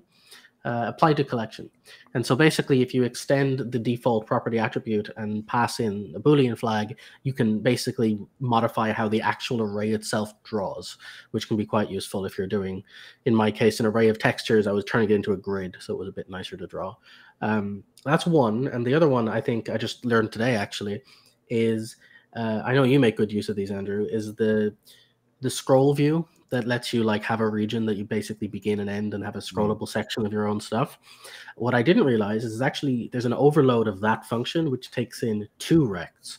One rect represents the actual drawn region that's like locked, and the second rect is the content size region, which acts the same way as a content size fitter. What that means is, is you can take in an array of objects that you're about to render in a scroll rect. You can calculate the max height by multiplying per item size by total, and then generate a secondary rect inside of it, draw that, and then only draw the child elements and then capture the index for the scroll and index into the appropriate array. Long story short, you can actually create a scroll region of thousands of items, but actually only show 11 at a time and do the same level of pooling as you would do with anything else, uh, which not even Unity does, because if you have an array of a thousand elements, Unity will start to chug very quickly. So you can actually avoid that problem yourself by just creating your own scroll rects that are, um, you know, auto pooling 14 hmm. items or 12 items or something. So I only learned that today when I was because I normally what I do is I make a paginator. I like literally only draw a certain set, you know, use the skip and take functions in LINQ to just grab a page size. Uh, but then you have to manage pages and have like page buttons and stuff and it's just easier to say hey actually we can have a collection that is all of the items thousands and thousands and um, you know do that because I was, I was doing some tests last week on large data sets um, and to probably no one's surprise, if you try to read a file that's uh, a billion lines long, you'll run out of system memory. So that doesn't work. So I was trying to. Well, don't do that. Yeah, yeah I, I, I, that. Yeah, no, yeah, I, knew that. I wanted to see like where would the cap be and what would happen on my machine, and I started looking at different solutions and how I might handle uh, mapped page files and indexing mm-hmm. into files. Which, by the way, that's a whole other topic I could cover if we're talking about tips. Um, the say JSON files, one thing that people often do is if they have a collection of items like pickups in your game, they'll just use a normal JSON file. JSON files are fine, but what you don't have is random access. If you wanted to mm-hmm. just load item 15 and you know it's item 15 in the file, you have to read the whole file into memory to get item 15, mm. um, yep. which is fine if you've got 200 items. If you've got 10,000 or in this case, 1 billion items in a file, I literally can't even read to an item without having to like do something with all the memory. Um, mm-hmm. And so you have to basically iterate through. And and by the way, when I say a billion, like I have like 128 gig of RAM. Like I've got a relatively yeah. decent uh, chunking machine. Um, it should be in a binary format though. If you're going to force that much data, you should avoid yes, well, JSON. yes, you can. But but the, the, the kind of a stopgap solution, if you're not familiar with kind of going into that whole make your own formats, BSON is what I actually use for those. But um, is you can use what's called JSON lines, which basically means if your JSON format is actually lists of items, there's no reason to make an object which is like a hierarchical structure, which requires you to read the hierarchical structure. If you just write each line as a JSON object in its entirety, mm. then you can just say read line seven, and suddenly you can just jump mm. straight to line seven, read that line in. So in the case where I find myself storing a list of items exclusively into a JSON file, uh, I won't make a JSON object with an array. I will literally just write JSON lines one by one into the thing. And that way I can have it, and I order them first. So you order them, store them, and that way you can basically do things like lookups and searches without having to store the whole lot in memory. And you can get one step further by doing something called, again, memory mapped files or similar, which basically let you um, directly map a space in memory to a file and then index into it. And then you can start a parallel thread because each one is a separate line now. And you can run through all of the lines in parallel till you find what you want, add it to a concurrency bag, and then grab the results out of that. That, and that's vastly faster than you'd get out of individual runs. Um, yeah kind of. Oh, the ideal is still just load the whole thing in memory if you can. well, yeah, yeah. If you, if like can, a, if you, for yeah. for nine out of ten problems, you just want to throw the whole thing in RAM because there's not enough enough data there to, to matter. But yeah, yeah it's, no, it's yeah, totally, but it's just totally I mean, it's, it's, it's, more it's more about knowing what's happening yeah. in the context of doing knowing that, that it's stuff, there. You know? Now, uh, you you called out color things real quick. I wanted I noticed um that Color Studio is the free asset of the week on publishers thing. Have you? Is this one you tried? Uh, I don't think I've tried that. It's one. by Kronnect, and I know everybody likes Kronnect. Mm. Um, but it's one of those tools for managing colors. Is that? Mm. I was curious what your thoughts were on um, on that whole thing. You've talked about it a little bit, and I, I, talking about setting up the color schemes with the with the tooling. Um, are there other tools that you've used for setting that up, or like what's? Is there? I'm just kind of curious. Is like if you want to do a good color scheme, is this something you would do, or you do something totally different? Um, I guess you go grab it and try it out. it's free right now. If everybody watching, click the link, go grab it for free. Use the uh the code. Apparently, I already own it, so apparently I have picked it up at some point. Me too. Um, yeah, yeah. So color is interesting. Yes, it looks like a good asset, and it certainly seems like it, it's covered all the stuff that you'd want from something like this. It has. um Is it worth it at the price of free though? I I, I think it's pretty clear. it's free. Um, I would say though that um the, the concepts behind this it's like all of this stuff right it comes down to the question of like would you need an asset for it what are you doing it with or whatever or, or how many features would you use out of it at the end of the day um all these color assets boil down to there's like six different ways to represent color, whether you're doing RGB or hue, saturation, and lightness, or whichever, or YMC. It depend on are you doing it for print, are you doing it for screen? You know, various different uh, things, which all come down to like how it renders and different stuff. But most of these are kind of color rules to make things look better.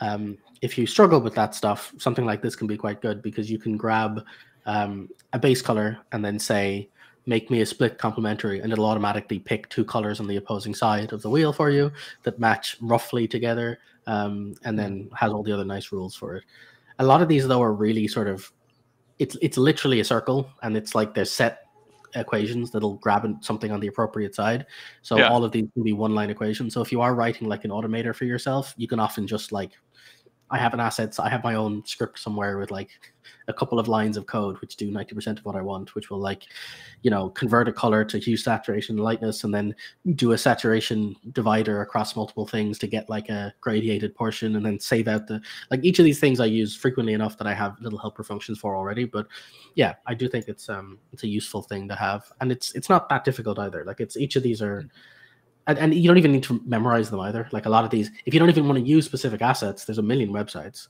Um, there's I have like at least ten that I use semi regularly between Adobe Color and um, there's uh, uh, things like Lospec and Color Lover and various other websites that all have hmm. a color hunt. And each of these websites will have different palettes organized by uh, moods or eras or uh, certain ones, certain games or pixel art or yeah, Co- color is a big topic. I could literally talk about color for a very long time.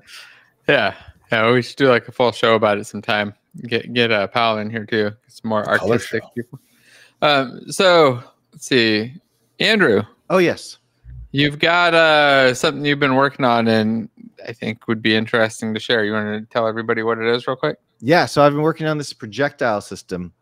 My thing was I needed arrows for my game. So I also figured I would need other things for my game.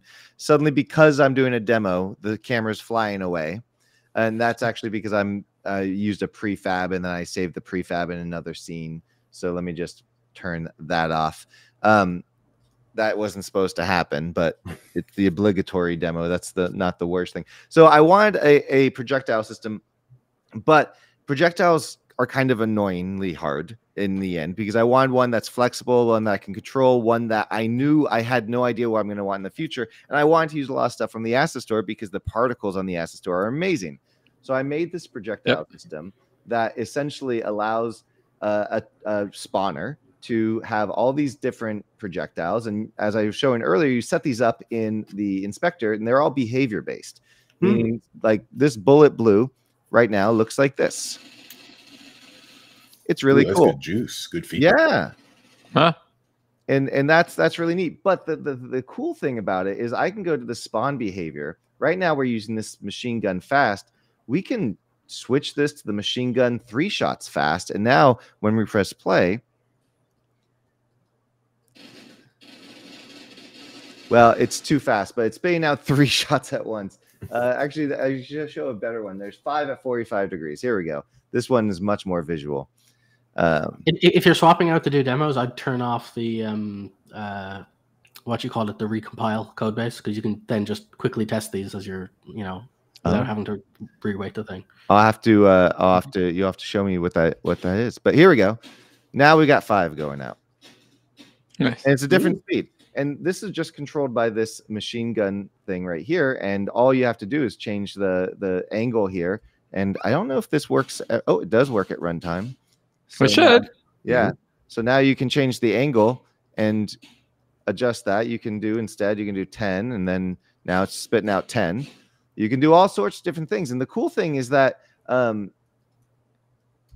you can code your own too. So you can use these ones that are that are um, you know, it would make for a really good example. Yeah. Um, you could add a script that basically sine waves that number between two values over time, and you'd get like a nice cascading wave of your bullets.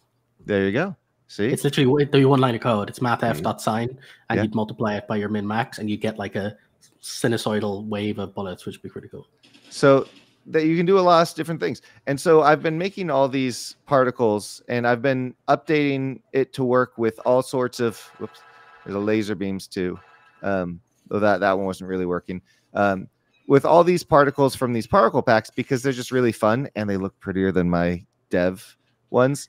Um, yes, they do. they do. And there's a, and you can add all these behaviors. So this one has a behavior. This is one of my favorite ones where it just shoots out. Then it goes looking for a target, and when it hits the target, it spawns this other thing, and this other thing has forces on it, so it kind of like holds things into a force field. And all Oh. of this is just done with behaviors. And so these behaviors, you can mix and match them between different pro- projectiles. You can replace them very easily. They all do basically one thing. There's a raycast hit detector, an impact, move forward because you gotta move, right? Mhm. Um, destroy on trigger. There's just a lot you can do with it, and it's very easy to to kind of build projectiles. So that's what I've been working on, and I've been making this is this is using the projectiles from Archanor uh, Sci-Fi Effects or Sci-Fi Arsenal. Um, but I've been I've been doing integrations for all sorts of things. So this is the cartoon uh, effects remastered, and uh, the camera might end up moving too on this one. Um, so this again, just different projectiles, same concept but with different particles essentially, and it works with any particle system in the end. Um, but what I found in doing this is, you know, publish recept their their particles very differently. So there's a couple that took me a, a long time to to convert over. Um, Forge 3D Sci-Fi Effects is amazing particles. They look great. They sound great. They they've got these amazing turrets that are just perfect for so many games. But it took me four hours to convert these over Ooh.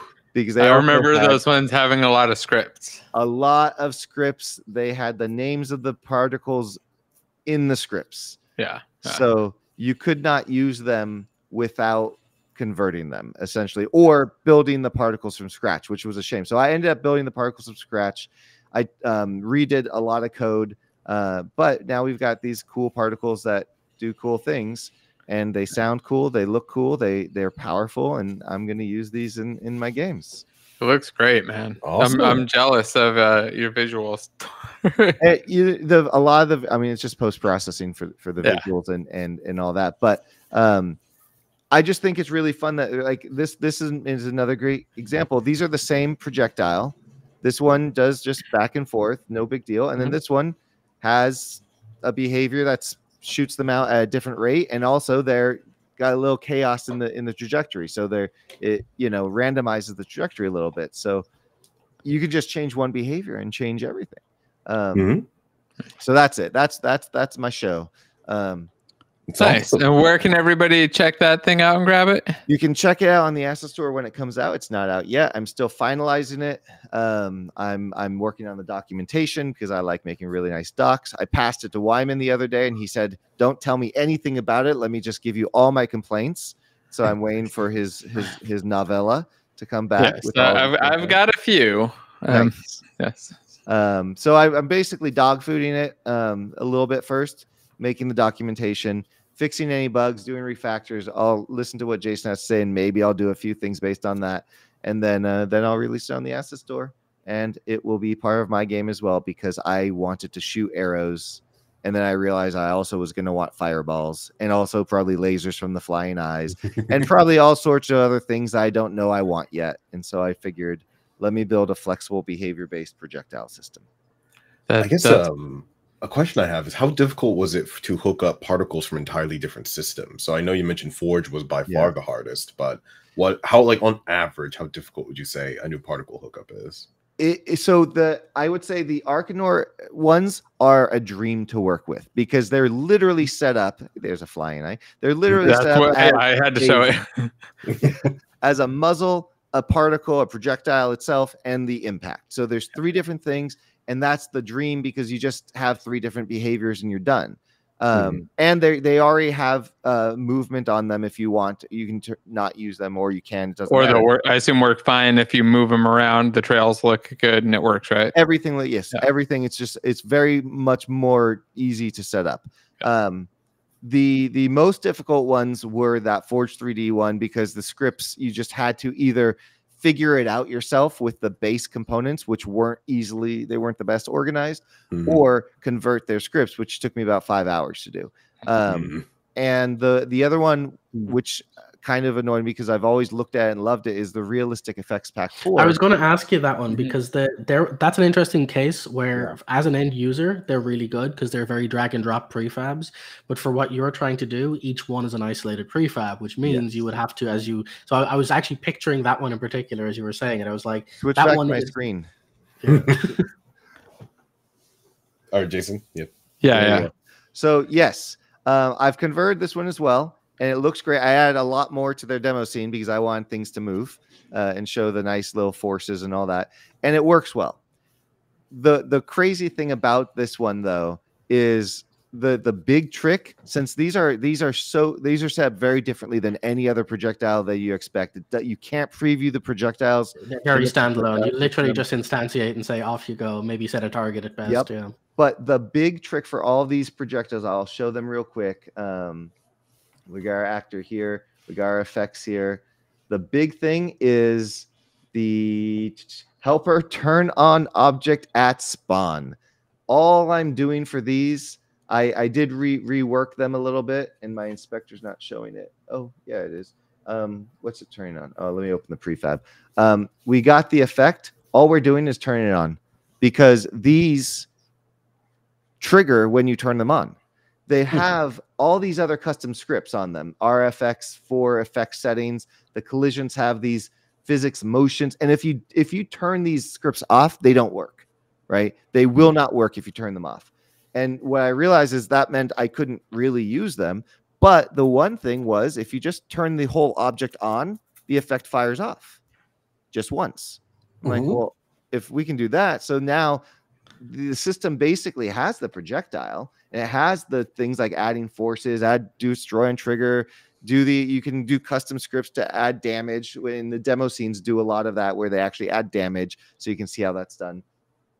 But the big trick here is just oh, when it spawns, turn it on, and that mm-hmm. makes the actual effect fire off. The rest is just the logic of how to handle the effect in in in in your game, and that matches all the other projectiles. So you can end up embedding them, but depending on the uh, particles you have, you might need one or two custom little trick scripts. In this case, a trick script is just turning on the damn particle. Yeah, because I was thinking you- you'd probably need something. Because the other big thing I noticed with their kit is there's a clean delineation between um, auto aiming ones versus ones that have targets because they have a lot of heat Mhm. seeking type stuff, and so you're you'd need to support that as well. You'd either because otherwise people are going to have to assign the targets to their script separate from your thing. But I'd imagine you'd probably want a behavior in your system that would allow that to just basically transfer the transform from your as in a target from your system into the appropriate bullet because that could be quite easy that would just be having some helper to say target object and then you would basically query for their script and pass it in right but i think that's an important one to add because that's a pretty common occurrence where a system would have a targeted object or a target collection or something you know Yep. And and I, what I do like about that, I know sometimes uh, custom like saying, "Oh, you can make your own custom scripts. You can make an override." That scares some people um, who are newer to it, but it's a very powerful thing because it does mean you can say, "Oh, I really like how this one behavior works. Let me make a slightly different modification, override it, change one line, and now you've got your own custom thing." And the other thing is in in the inspector here, I've got these very bright um, uh, console debugs. i know that i've been they've been hurting my eyes since you Yeah, showed they, this they to they hurt your eyes. On I purpose. regret. I regret the day I ever showed you Ah. how to color. a color. it's true. Storey did ah. teach me the color thing. But the reason why they're so bright is because these these are demo scripts for the actors.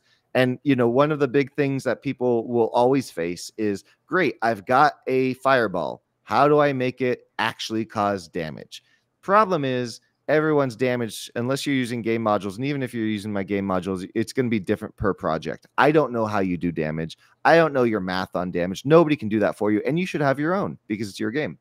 So this is basically a demo script showing how to how to actually take a thing the projectile and cause damage. Uh, in the demo we have a, just a, uh, basic damage value in that's attached to all of the projectiles and the projectile data and then it just registers the hit so this is i'm not going to walk through it but this is where people would go to be like oh I see the actor just caused damage. Oh, I see the um, target just took damage. And really, each each one of these um, each one of these uh, projectiles has a projectile data on it, and these projectile datas right now just have speed and damage, and ultimately you, you're gonna you're gonna oh this is the damage o- over time one but ultimately you're gonna make your own version of projectile data that will have your own logic for the calculate damage I got And a, a want- question for you, Andrew. Yeah.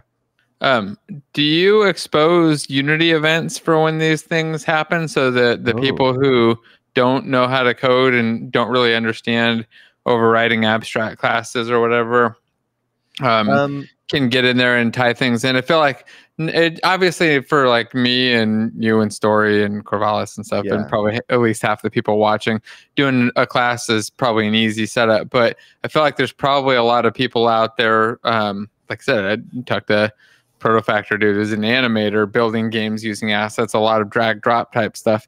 And if you Mhm. had events like that, is that something that's available, like an on impact, and they could just hook up their their damage from their health you know th- whatever health system they're using has a take damage method and they can just pass that in. Or is, is there something like that? Yes there are all these events. Perfect. Okay. Okay. there are all these events. And so all the behaviors automatically they are all, those all- unity events or just events? Uh what's the difference? The unity, Unity events event show up up in in the the inspector inspector. so you can go assign stuff Oh, to no, them. they are not unity ev- events. You should Uh, add a layer of those. I, I, Okay. I, maybe as a optional thing like as a an extra script or something but i would at least consider it for um, all the people that don't know how to write code or the designers that are going in and maybe it's already Yeah. hooked up to do damage they want to Mhm. add in some extra visual effects and all that stuff but i think more so for the people who want to use like your projectile system with some other health system in That fact i would probably go grab a couple of those health systems and do do the integration yourself with um some of the more popular ones because Yeah. it'd be pretty easy and like with uh you know, th- things like rpg builder do an integration into their their stats and show you know how you can do that easily with unity events and not do any extra code ideally you can just have like a, a little demo or something Yeah. So we do. Yeah, I'll, I'll look into that because it makes sense. I've, I've got everything is event based. Um, you've got all these different life cycle events that you can tap into. There's also um, a a global. So the camera actually has a. My mouse has to be blown on every once in a while to work. Um, the, of course. the- me too. Yeah. Um, so the the the camera shake on projectile collision is is uh is a neat script. It's um a global observer. And a global observer basically registers with the factory manager. And the factory manager is a static scriptable object. You don't even need it in the scene. It just always works. And Yeah.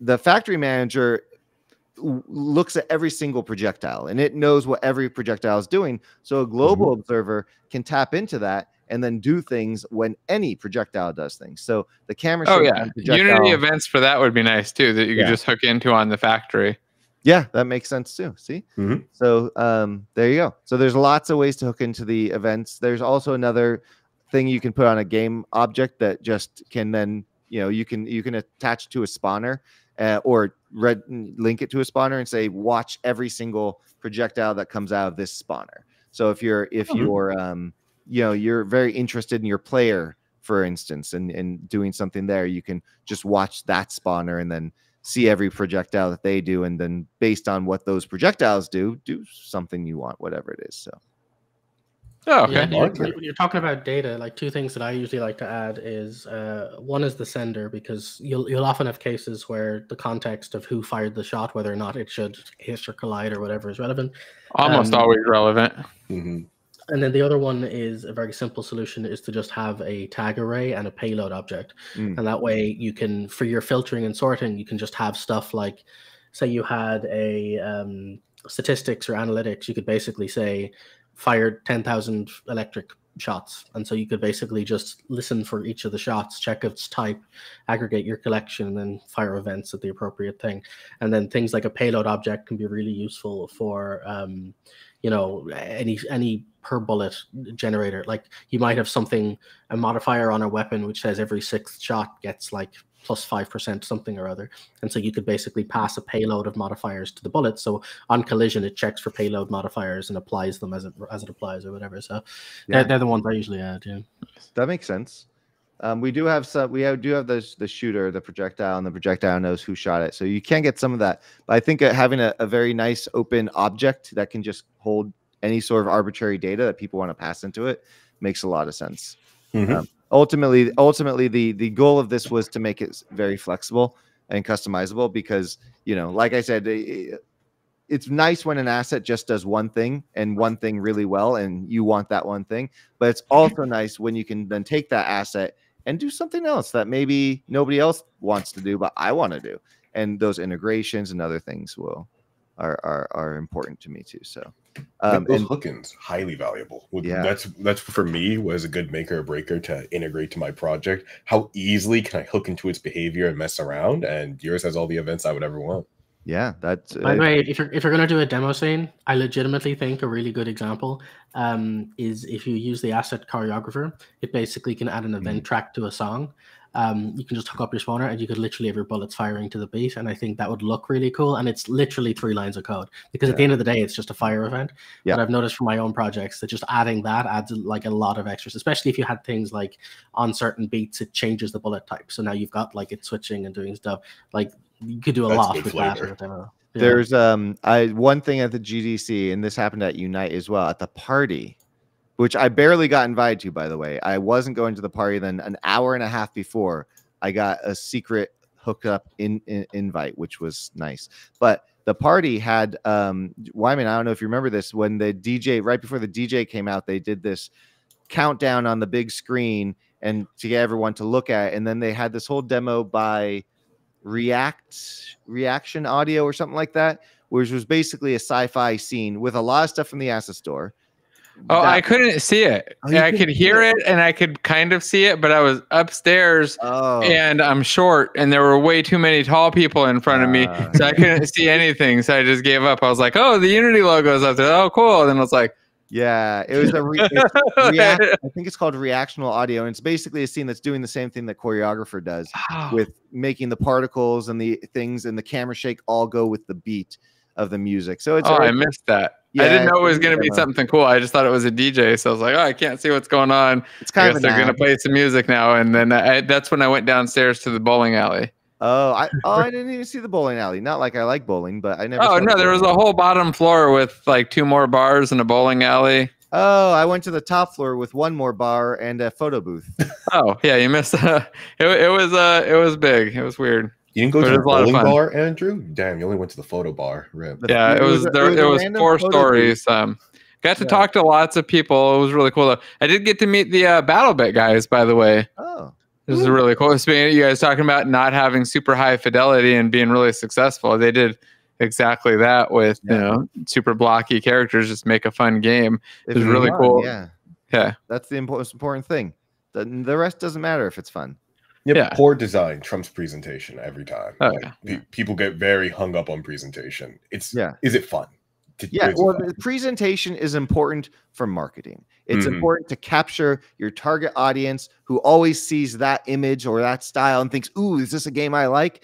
But then, oftentimes, for me at least, I'll do that and then I'll be like, "Oh no, that game has nothing to do with the image I just saw."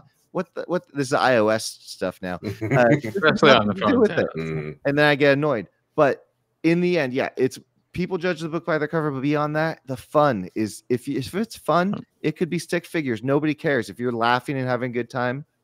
There you go.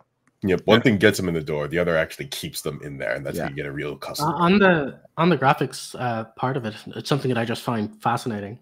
Um, that game, um, the I'm forgetting the name of it now, but the, the one where you're, you're collecting objects, you're um, the the work one. You know the one I'm talking about? It's the that's, multiplayer. a, that's a lot of them. It's it's a new the Game real- where you collect things and it's multiplayer.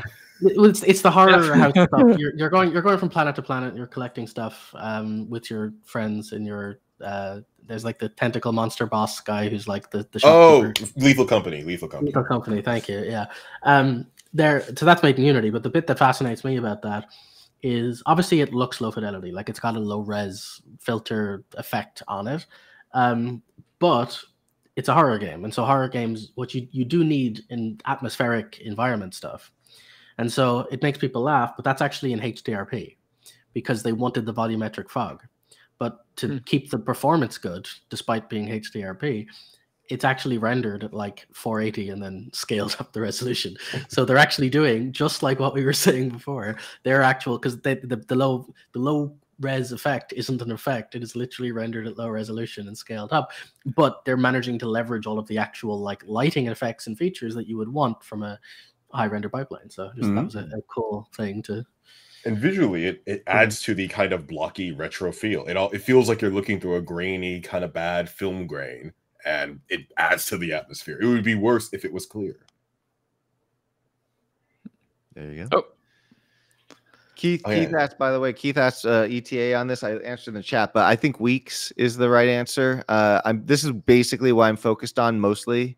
Um, but we, you know, given that Jason and Jason just threw some things I have to add now, uh, um, I'm gonna add those, and then and I do need to redo the object pooling. It's got object pooling built in, but right now it's it's kind of tightly coupled, and I don't like that. So I need to extract that and make it not coupled at all, so you can just use any object pooler you want, uh, or none, um, or your own, or you know, and and not have to worry about like you can just use mine by default, but you can choose to not use. Yeah, mine. people probably just want to use. Most are going to want to use yours. That- 'cause that's the- my guess, but yeah. somebody out there is going to be like, "But I already have an object pooling system." Or But don't like the projectiles are like the first thing that you pull. So Yeah. hopefully, it's, yeah. hopefully they, they haven't picked one yet. Yeah. So um, I, I did want to show the the eyeball real quick, Yeah. Andrew. So you, you'd uh, you'd mentioned eyeballs, and that's one of your characters that I I pulled in here. That that pop up It's- menu this here. is actually the first see. character I pulled into my uh, Legend of the Stones recently as well. It was the flying. Oh, yeah? It's just it's a great it's a great character for just throwing in because it does cool things and it looks cool and it moves pretty easily and it can also fly if you want it to fly. Here's my horrible orc. Yeah, I, I love that. The eyeball is cool. And then this is my favorite one. So this is the one I was trying to show earlier. You eat him. Unfortunately, um, the stun isn't working, so he, it still kicks me while it's inside me. But eventually, Oh. it gets spit back out. and I switch over to Medusa and smack it. So adding in the passives now. So you stare at Medusa for too long, you'll turn to stone, and Oh, nice. they, they'll all get they'll all get a, passive and an active, and uh, obviously I got to fix that and reparent it to the bone. But I've been having a lot of fun using your stuff, so I, I just want to say thanks for making uh making lots is of cool stuff. It- It's I e- nice, easy plug and play. I, I enjoy it. The eyeballs looking good. Yeah, you're you're like my D and D theme of stuff. Uh, The one thing I haven't figured out yet is uh, if you're a cube and you eat somebody and you change forms, I think I'm gonna have to make you spit them out because otherwise, oh, I died. Yeah, when you die, it, it bugs out. But when you, um, yeah, if you're if you run around and trans transform into an eyeball, it looks really weird when you've just got you know you're running around as an eyeball with somebody else stuck in the middle of you. So You don't have people stuck in your eyeballs, Jason? That's called seeing them. Oh, uh, Galileo VR asked how multiplayer friendly it is. It's 100% multiplayer. That's just running in host mode. Um, it's built multiplayer first, so runs dedicated server or hosted, and then uh, it, the plan for it is five players by default, but I'll probably just support two to eight, and then it's all single single person per team. But there's no reason that wouldn't be adjustable too. I actually took um, the core work from the multiplayer mastery course and just started i thought like hey what would it take to turn this into a moba and it turned out it was about two days of effort so got that switched over and then decided it was actually fun and i try to build it out as a game and see what happens so Awesome. I- I should have a playable demo for us next week, so we can all hop in and um, you can all fuck me up at the game that I made and show me all the Hell yeah. crashes and stuff. But I want to have at least a four-player, five-player playable version next week where we can jump in with you know eight, 18 classes. I just have to go add like another 15 passive abilities and the code for those. But it's actually really simple. Um, I, I want to do some videos on the process of that. When you've got a modular system for combat and abilities, um, it becomes really easy. In fact, I was going to add the shield ability that I put in for the uh, rhinoceros guy. So the the rhinoceros beetle, which just looks like the the dude from um, what is that? Uh, Bugs Life, like the guy that they fly around on. Oh yeah, yeah. Yeah. So when I wanted to add him, uh, I wanted to give him a passive ability, and his was one of the first. I just decided to give him a shield. So it's like an armor that buffs up shield. And at first, for a few minutes, I put in a, a new variable for the shield amount. And then I started going through and hooking things up and adding code. And Then I realized I don't actually need this variable because everything's so modular that I just add a buff that modifies a pool and then that pool is a new shield pool. And the only change to my code was that when I do damage, I just see if I have a shield on there and then take stuff out of the shield pool. So ended up being about four lines of code change to add the whole thing. Oh, plus like another two lines for the UI because I wanted to add a slider that showed up there at the top um, over the shield. But yeah, it made it uh, really simple. Plus, it all worked um, basically at runtime. So I could go in and Hmm. add my pools and stuff, add the whole ability, hook it on, and it just kind of works doing it without changing anything. It's all in scriptable objects. So I can do it while I'm playing and running, go in, modify, add abilities. And other than the UI, um, you know, refreshing my icon, everything works. Awesome. M- Making games that we'll be able to play together sounds pretty fun. Yeah. Yeah, it should be fun. Um, oh, the other thing I didn't show you. I'll show you real quick. The last bit. See, I was- I'm always looking for feedback and ideas, and if anybody here or in chat has some uh, some feedback or ideas, please let me know. But um, the other thing I've added in here, let's see, it's randomized. Pick a couple. Yeah, you can you can be a tower right now or a chicken too. Hmm. Not not, not good options, but uh, I want to be a chicken. That's my life's dream. well, that, that is an option, but right now it's uh, rotated 90 degrees. Oh, and the towers are are moving accidentally. Hmm. But yeah, see, here's a chicken. Um, but the thing I was going to show you is the spawners are the same way. So you pick your your roles. The UI for it got broken, but you pick the ones that you want, and then it'll spawn them. And uh, when the AI is not broken, they'll run out, and they're just the creeps that go out from the spawners and push, and then they use the abilities and the, the classes that you gave them. Apparently, I, I, I broke it sometime last night, but yeah, that's uh, the state of things. So get ready to play next week and uh, kick my ass, I assume. I'm putting on my beta tester gloves. Okay, we're ready. And if you got any ideas for abilities, um, I need active abilities and passive ones. I've got them for some of the guys, especially Andrew's ones. I've got a couple of them down. Um, but yeah, I'm looking for more. So if you got cool, I've mostly just stolen League of Legends abilities. Uh, That's, that's my primary source of uh, of inspiration. Is like, oh yeah, like like the caterpillar guy turns into a Rammus ball, rolls around, and then does damage when he hits. You know, um, Gelatinous want- Cube was easy. That was an obvious one. He should eat you. Yeah. I want you to add one sci-fi character that is just an alien with. oh no, I'm adding at least six. I'm going to add in a full set of protofactor Oh. ones. Oh, nice, Yeah. nice, nice. Yeah, nice. protofactor is after I get the abilities working for these 12. I've got six ears and six insects. I'm going to do six protofactor ones. I just want to make sure that I I don't want to get too many in there that don't work. So I want to get these Mhm. ones working, and then I'm going to add those in next. Yeah, because I want it to be it, not not just RPG fantasy ish, but like you know Science wild fantasy. shit like all over the place. Science. pop in some anime characters. You make whatever the hell you want. I don't care.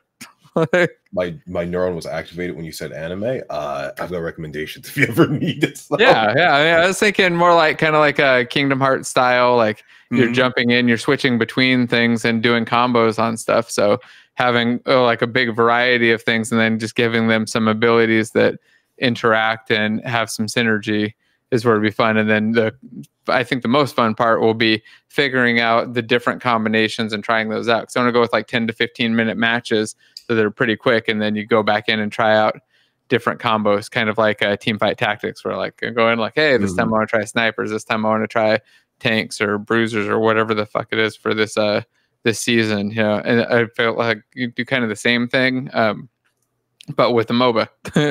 Like, Yeah, it seems like a super fun sandbox. Like mixing and mashing them and trying out Yeah. weird combinations definitely seems like the the interesting vibe for it. For I want to know what my chicken robot army. What what is the build comp on that? Hmm. That, that's kind of what I was thinking. Yeah, being able to to mix and match and do exactly those, like have fun. And then I was going to make it variable for the host, so the host can pick. You know, you can have one thing or five or six, how, however many you know the max is that works with the keyboard, but make it so that you could have a variable number of them and do the same for the spawners and just kind of let let people kind of customize the the game and the match mode and figure out what's most fun instead of me guessing. I, I'm going with four because that's QWER. Mhm. that's the only reason. Yeah, bounce around what you got, and that's why when we get that play test, we'll have even Yeah. more ideas. They'll be flowing. Yep, Uh, it should be fun. So yeah, anybody interested, make sure you come back next week and and check it out. If you want to see the code and you're in the course, um, it'll be up on the resources page too. You can go through and dig through that stuff and see if there's useful info there. Um, anybody got anything else interesting this week before we wrap it up? Uh, sure, why not? I finished up the project I've been doing for two months. Uh, bloated beyond where it should have been, but it was a fun animation test. I uh, mentioned before I was playing like Persona 3 Reloaded, decided to do a mod where I just swap out one character wholesale. And this was way harder than it than I initially expected because when you do that, you have to recreate every animation that character had in them in order to not soft lock your turn-based game. So Hmm. there's uh there's links to the YouTube video just for a little debug footage. The mod is out now. So if you want to swap your boss character with uh fellow VTuber Mori Calliope, by all means. It was fun to put together with what was available, fun to collect the animations and figure that out. And I learned so much about Unreal's build system. My lord, so much. And plenty of helpful people in like the modding Discord. It was it was it was a journey. Nice. Well, I, I just put the link in there so everybody can go check it out. Um, that's, that sounds cool. I'm gonna I'm gonna watch it too. It's like one minute. So Yep. how, how difficult was it? Was it super Hi. painful? It was it was a high difficulty because I've not done uh, a mod like this before for this game. Since it was in Unreal, there was already a lot of like communal knowledge for how to do it, Hmm. but I had to still wait for other modding tools, people better than I, to build them out to make certain processes easier, and us being able to comb through certain components of the game to recreate them. For instance, hair physics was not something we could recreate, so I had to do all that by hand. And the hand animations were by far the hardest part because every animation had to be redone more or less from scratch and fit the original frame count that the previous animation worked in. So making it both work aesthetically and work under those limitations was a fun back and forth, but also a very hard one. Uh, it And, and he, he made the mistake of asking me for feedback. So you know, Oh yeah, that, that was another like three weeks minimum. Oh, it looks like uh, one of our viewers in chat, Richard, uh, made a tune Roman Republican army and put the Oh. code in there. So if you're watching live, you can probably grab that, and whoever gets it first, go check that out. I'm gonna have to pull that one up. I have not seen that. It's been in the chat for 30 seconds. I'm sure it's been claimed already. But- Ooh, speaking of stuff, there is a humble bundle for Synty assets, everyone's favorite low poly manufacturer. That's really, really good. It had a bunch of assets I myself didn't even own yet. The Synty 2 number two remix. So definitely want to check that out if you want to grab some cool Synty stuff. I, for one, as well, love the fact that they give it from the Synty website so you can import it to either like Unity or Unreal. Because I like throwing around assets in both. Uh, I like it when they're in the asset store, so that way I can just go to the asset store tab and uh, hit import. 'Cause I'm too lazy to go other places. Speaking of that, I saw the um, asset manager preview stuff and got to play with that a bit. It's actually pretty damn cool. Um, I'm looking forward to using that in the future. There's some really promising stuff there. I feel like it's going to be hopefully the the new way that I pull in assets into the project. You know, after it gets a couple more updates and stuff. I, I think it'd be really nice because you just grab things in and you don't have to grab down a whole pack. You don't have to put it all in. Like uh, what I used to do is like export things to an asset pack, and with this thing, basically upload all of my prefabs and assets separately, and then just pull them down. Um, so it, it's pretty interesting and way cooler than I expected. Like I said, when I first heard about it, I, I thought it was going to be kind of not very useful because I don't have a big team of artists and stuff that I'm working with. But after looking at it and the workflow improvements, actually drastically better because you can do some things that really speed things up um, and, and just make it easier for me to find stuff. Kind of, kind of like I've been using that asset data or asset inventory too thing since uh, we talked about it last week or the week before, and it, it's pretty handy, but it's definitely not um, perfect because it's got to pull everything down. And I just have too many things. It still hasn't finished indexing everything. Yeah.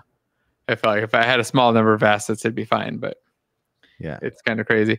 Um, there was something else I was going to mention from the chat, but I cannot remember what it was anymore. Um, I don't know. Something else exciting in there? Did did I miss anything super exciting? No, but I I did see asset manager at GDC, and I agree. It looks very interesting and promising. Hmm.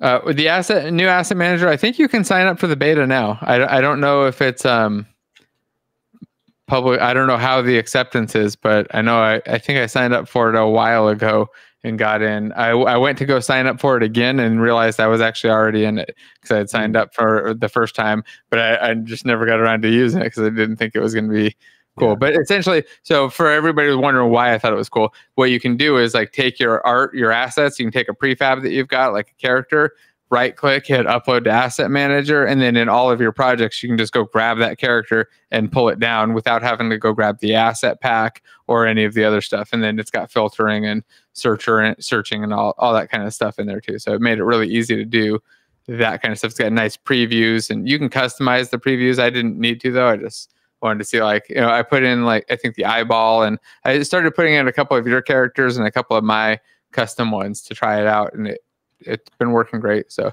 Yeah. big fan. Um, I, I really hope that long term it will get to the point where I can see like all of my assets from the asset store. That would be perfect. Um, until then, though, it's still really really handy. Um, But Yeah. if it got to that point, it'd be like you know I, I would use it as my default. I, I probably wouldn't even go to the asset store, Well, know, except for to look at sales and you know, like do discovery stuff. But yeah, and I, I'm pretty sure most people don't enjoy importing through Package Manager your assets. So, I, what I don't enjoy is importing a whole bunch of stuff to try to figure out like the one thing that I want because most of the time I want one thing out of a pack, not the Mhm. entire pack, but it's two gigs or when, Plus- a gig. say, Plus, it's you, not just the import, right? It's Yeah. the import followed by okay, you just imported a large pack that's got ten thousand audio files. We're gonna sit and generate a meta file for each and every one of these before you've even decided if you want to look at any of them. It's like, Yeah. can I not just pick a few and look at them? No, we're No, gonna sit and, and, uh, generate twice as much content first. So, But Yeah, by preview and downloading all them that, too, there would be- these are cached on your system. You have to go find that folder to get removed that cache. Otherwise, you're gonna have that two gigs forever. yeah. Oh, I delete that folder once a week. Yeah, Mhm. because I, I constantly run out of space from that that damn folder. yeah. Yeah.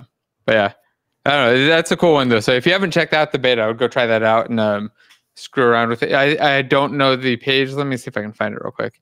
Uh, Asset Manager beta. Uh, that one's really cool. Um, let's here it is. Using the Unity Asset Manager. Where's the beta part?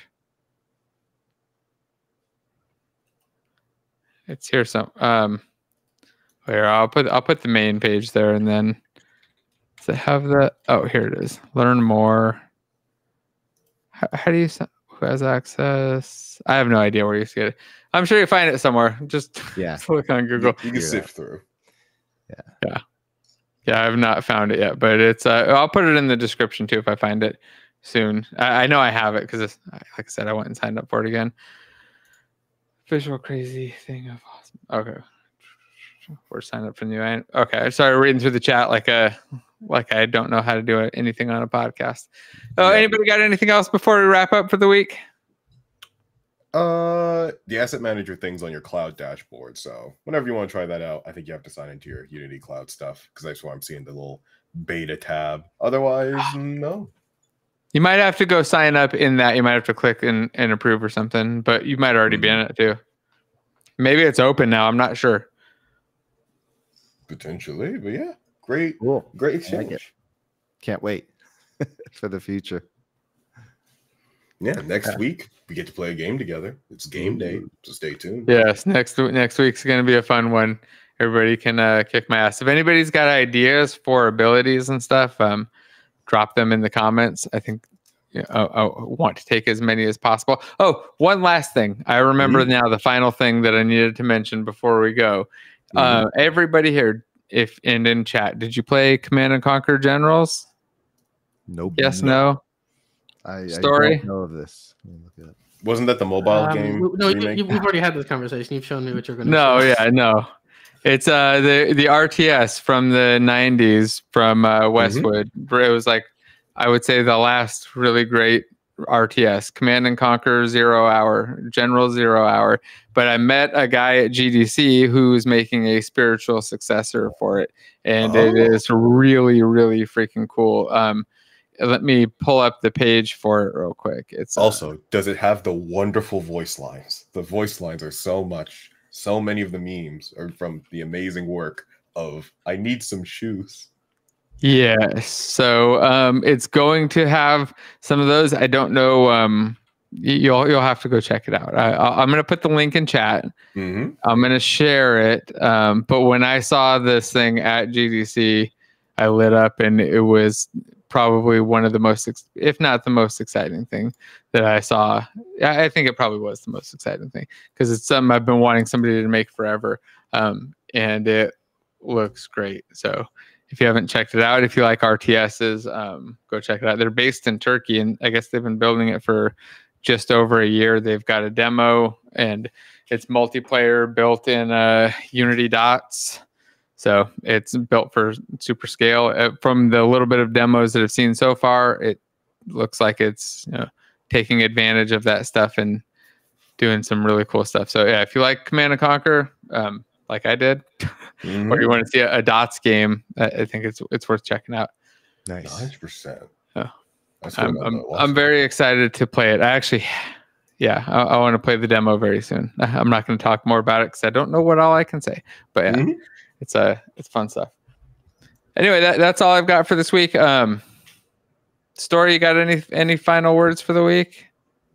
No, No. my my final words will be uh I don't know. Yeah. Um have a good weekend, I guess. I'm I'm gonna go and uh, listen to an audiobook and chill. This is the start of my weekend too, so you know, I'm gonna just relax for the rest of the week. I am going to sit and code. I'm pretty I'm sure. going to pass Pretty out. sure my my final words will be, "That's not a lion." All right. Cool. Well, yeah, it was great seeing everybody again. Uh, if you're here with us live, make sure you hit the thumbs up button. If you're watching later, do the same. And if you haven't already gone to Jason Storey's Ko-fi and Discord page, the link is in the description and it's going to pop up as soon as I find it right there. So you can go check it out. Lots of good, interesting discussion. You can just go lurk and watch um, or join the conversations. I, I- still lots of fun. I still just sit back and lurk on your channel. I'm afraid to get into a discussion because I know I'm going to end up spending like yesterday. So we were in the um, the multiplayer mastery course call yesterday, and we're Storey was there, and we were talking, and I didn't realize we were there for like almost three hours just Yeah. talking. It was like two, my wife came, she's like. How long is this call exactly? I'm like, oh, I didn't even realize we're just hanging out. It's been like three hours now, and just just chatting and having interesting discussions. So yeah, get some of that in Storey's Discord. Go check that out. Um, and of course, uh, if you haven't already subscribed to Power, how do you how do you pronounce this, Corvallis? Corvius. It's it's like my normal name. Did it so for better SEO, and you know I think it's cute. Corvallis. Power Corvius. Okay, got it. I just wanted to make sure I said it right. I knew I was gonna pronounce it wrong. Are you sure it's not like French, like Power Corvaux? Look, I had, I had three years of French, and I still can barely speak it. Maybe a little bit leaked in for the EU. Oh, it's good stuff. Yeah, Corvius. so go, go sign up. So did you rename the channel too to Power Corvius? Uh yeah, the main titling, the at is still 2000, just because Okay. I haven't bothered to do that, and Yeah. that's a little bit more of a launch. But I am basically reformatting it. Want to do redo my thumbnails. Want to get into making more content as well. The mod was the first step in one aspect, and yeah, hopefully a lot more stuff soon. Also going to be experimenting with another little project that should be soonish. We just say soonish trademark, so I can't be called out for having bad deadlines. Okay. nice. Cool. And then Andrew, any uh, last things you got coming up? Nope, there's sales on the Asset Store right now. But aside from that, uh, All right. Just got. Oh, I, I mean, I guess I've been streaming a lot with this projectile thing. So if you want to join my streams, come to the Discord, and I always at everybody when I do a stream. So Yeah, get some uh, requests there if you got Yeah. ideas, things that you want to see in that thing. Um, yes, and then go check out some of Andrew's characters. It's really cool. Hey, you- I having a project where I can use your characters and actually having like a good use for them that's not a demo. I've tried to pull them into MMOs and stuff, but it's like stuff I can't show. And it's really cool when I got characters of yours that I can pull in and, and show because they look really good. Like they they look much better in game, and I haven't even done any lighting or URP updates. It's just uh, uh, they're they're a lot of fun to work Excellent. with too, and the variation's cool. So I get to go in and and play around and figure out what I want it to look like. Yeah. Great. It's good to hear. Yeah. Anyway, yeah, I just want to say that. Th- thanks, again. those things are awesome. Anyway, yeah, thanks for joining us, everybody. If you got uh, questions, comments, leave them down below, and if not, just make sure you subscribe, and we will see you again next week. See y'all soon.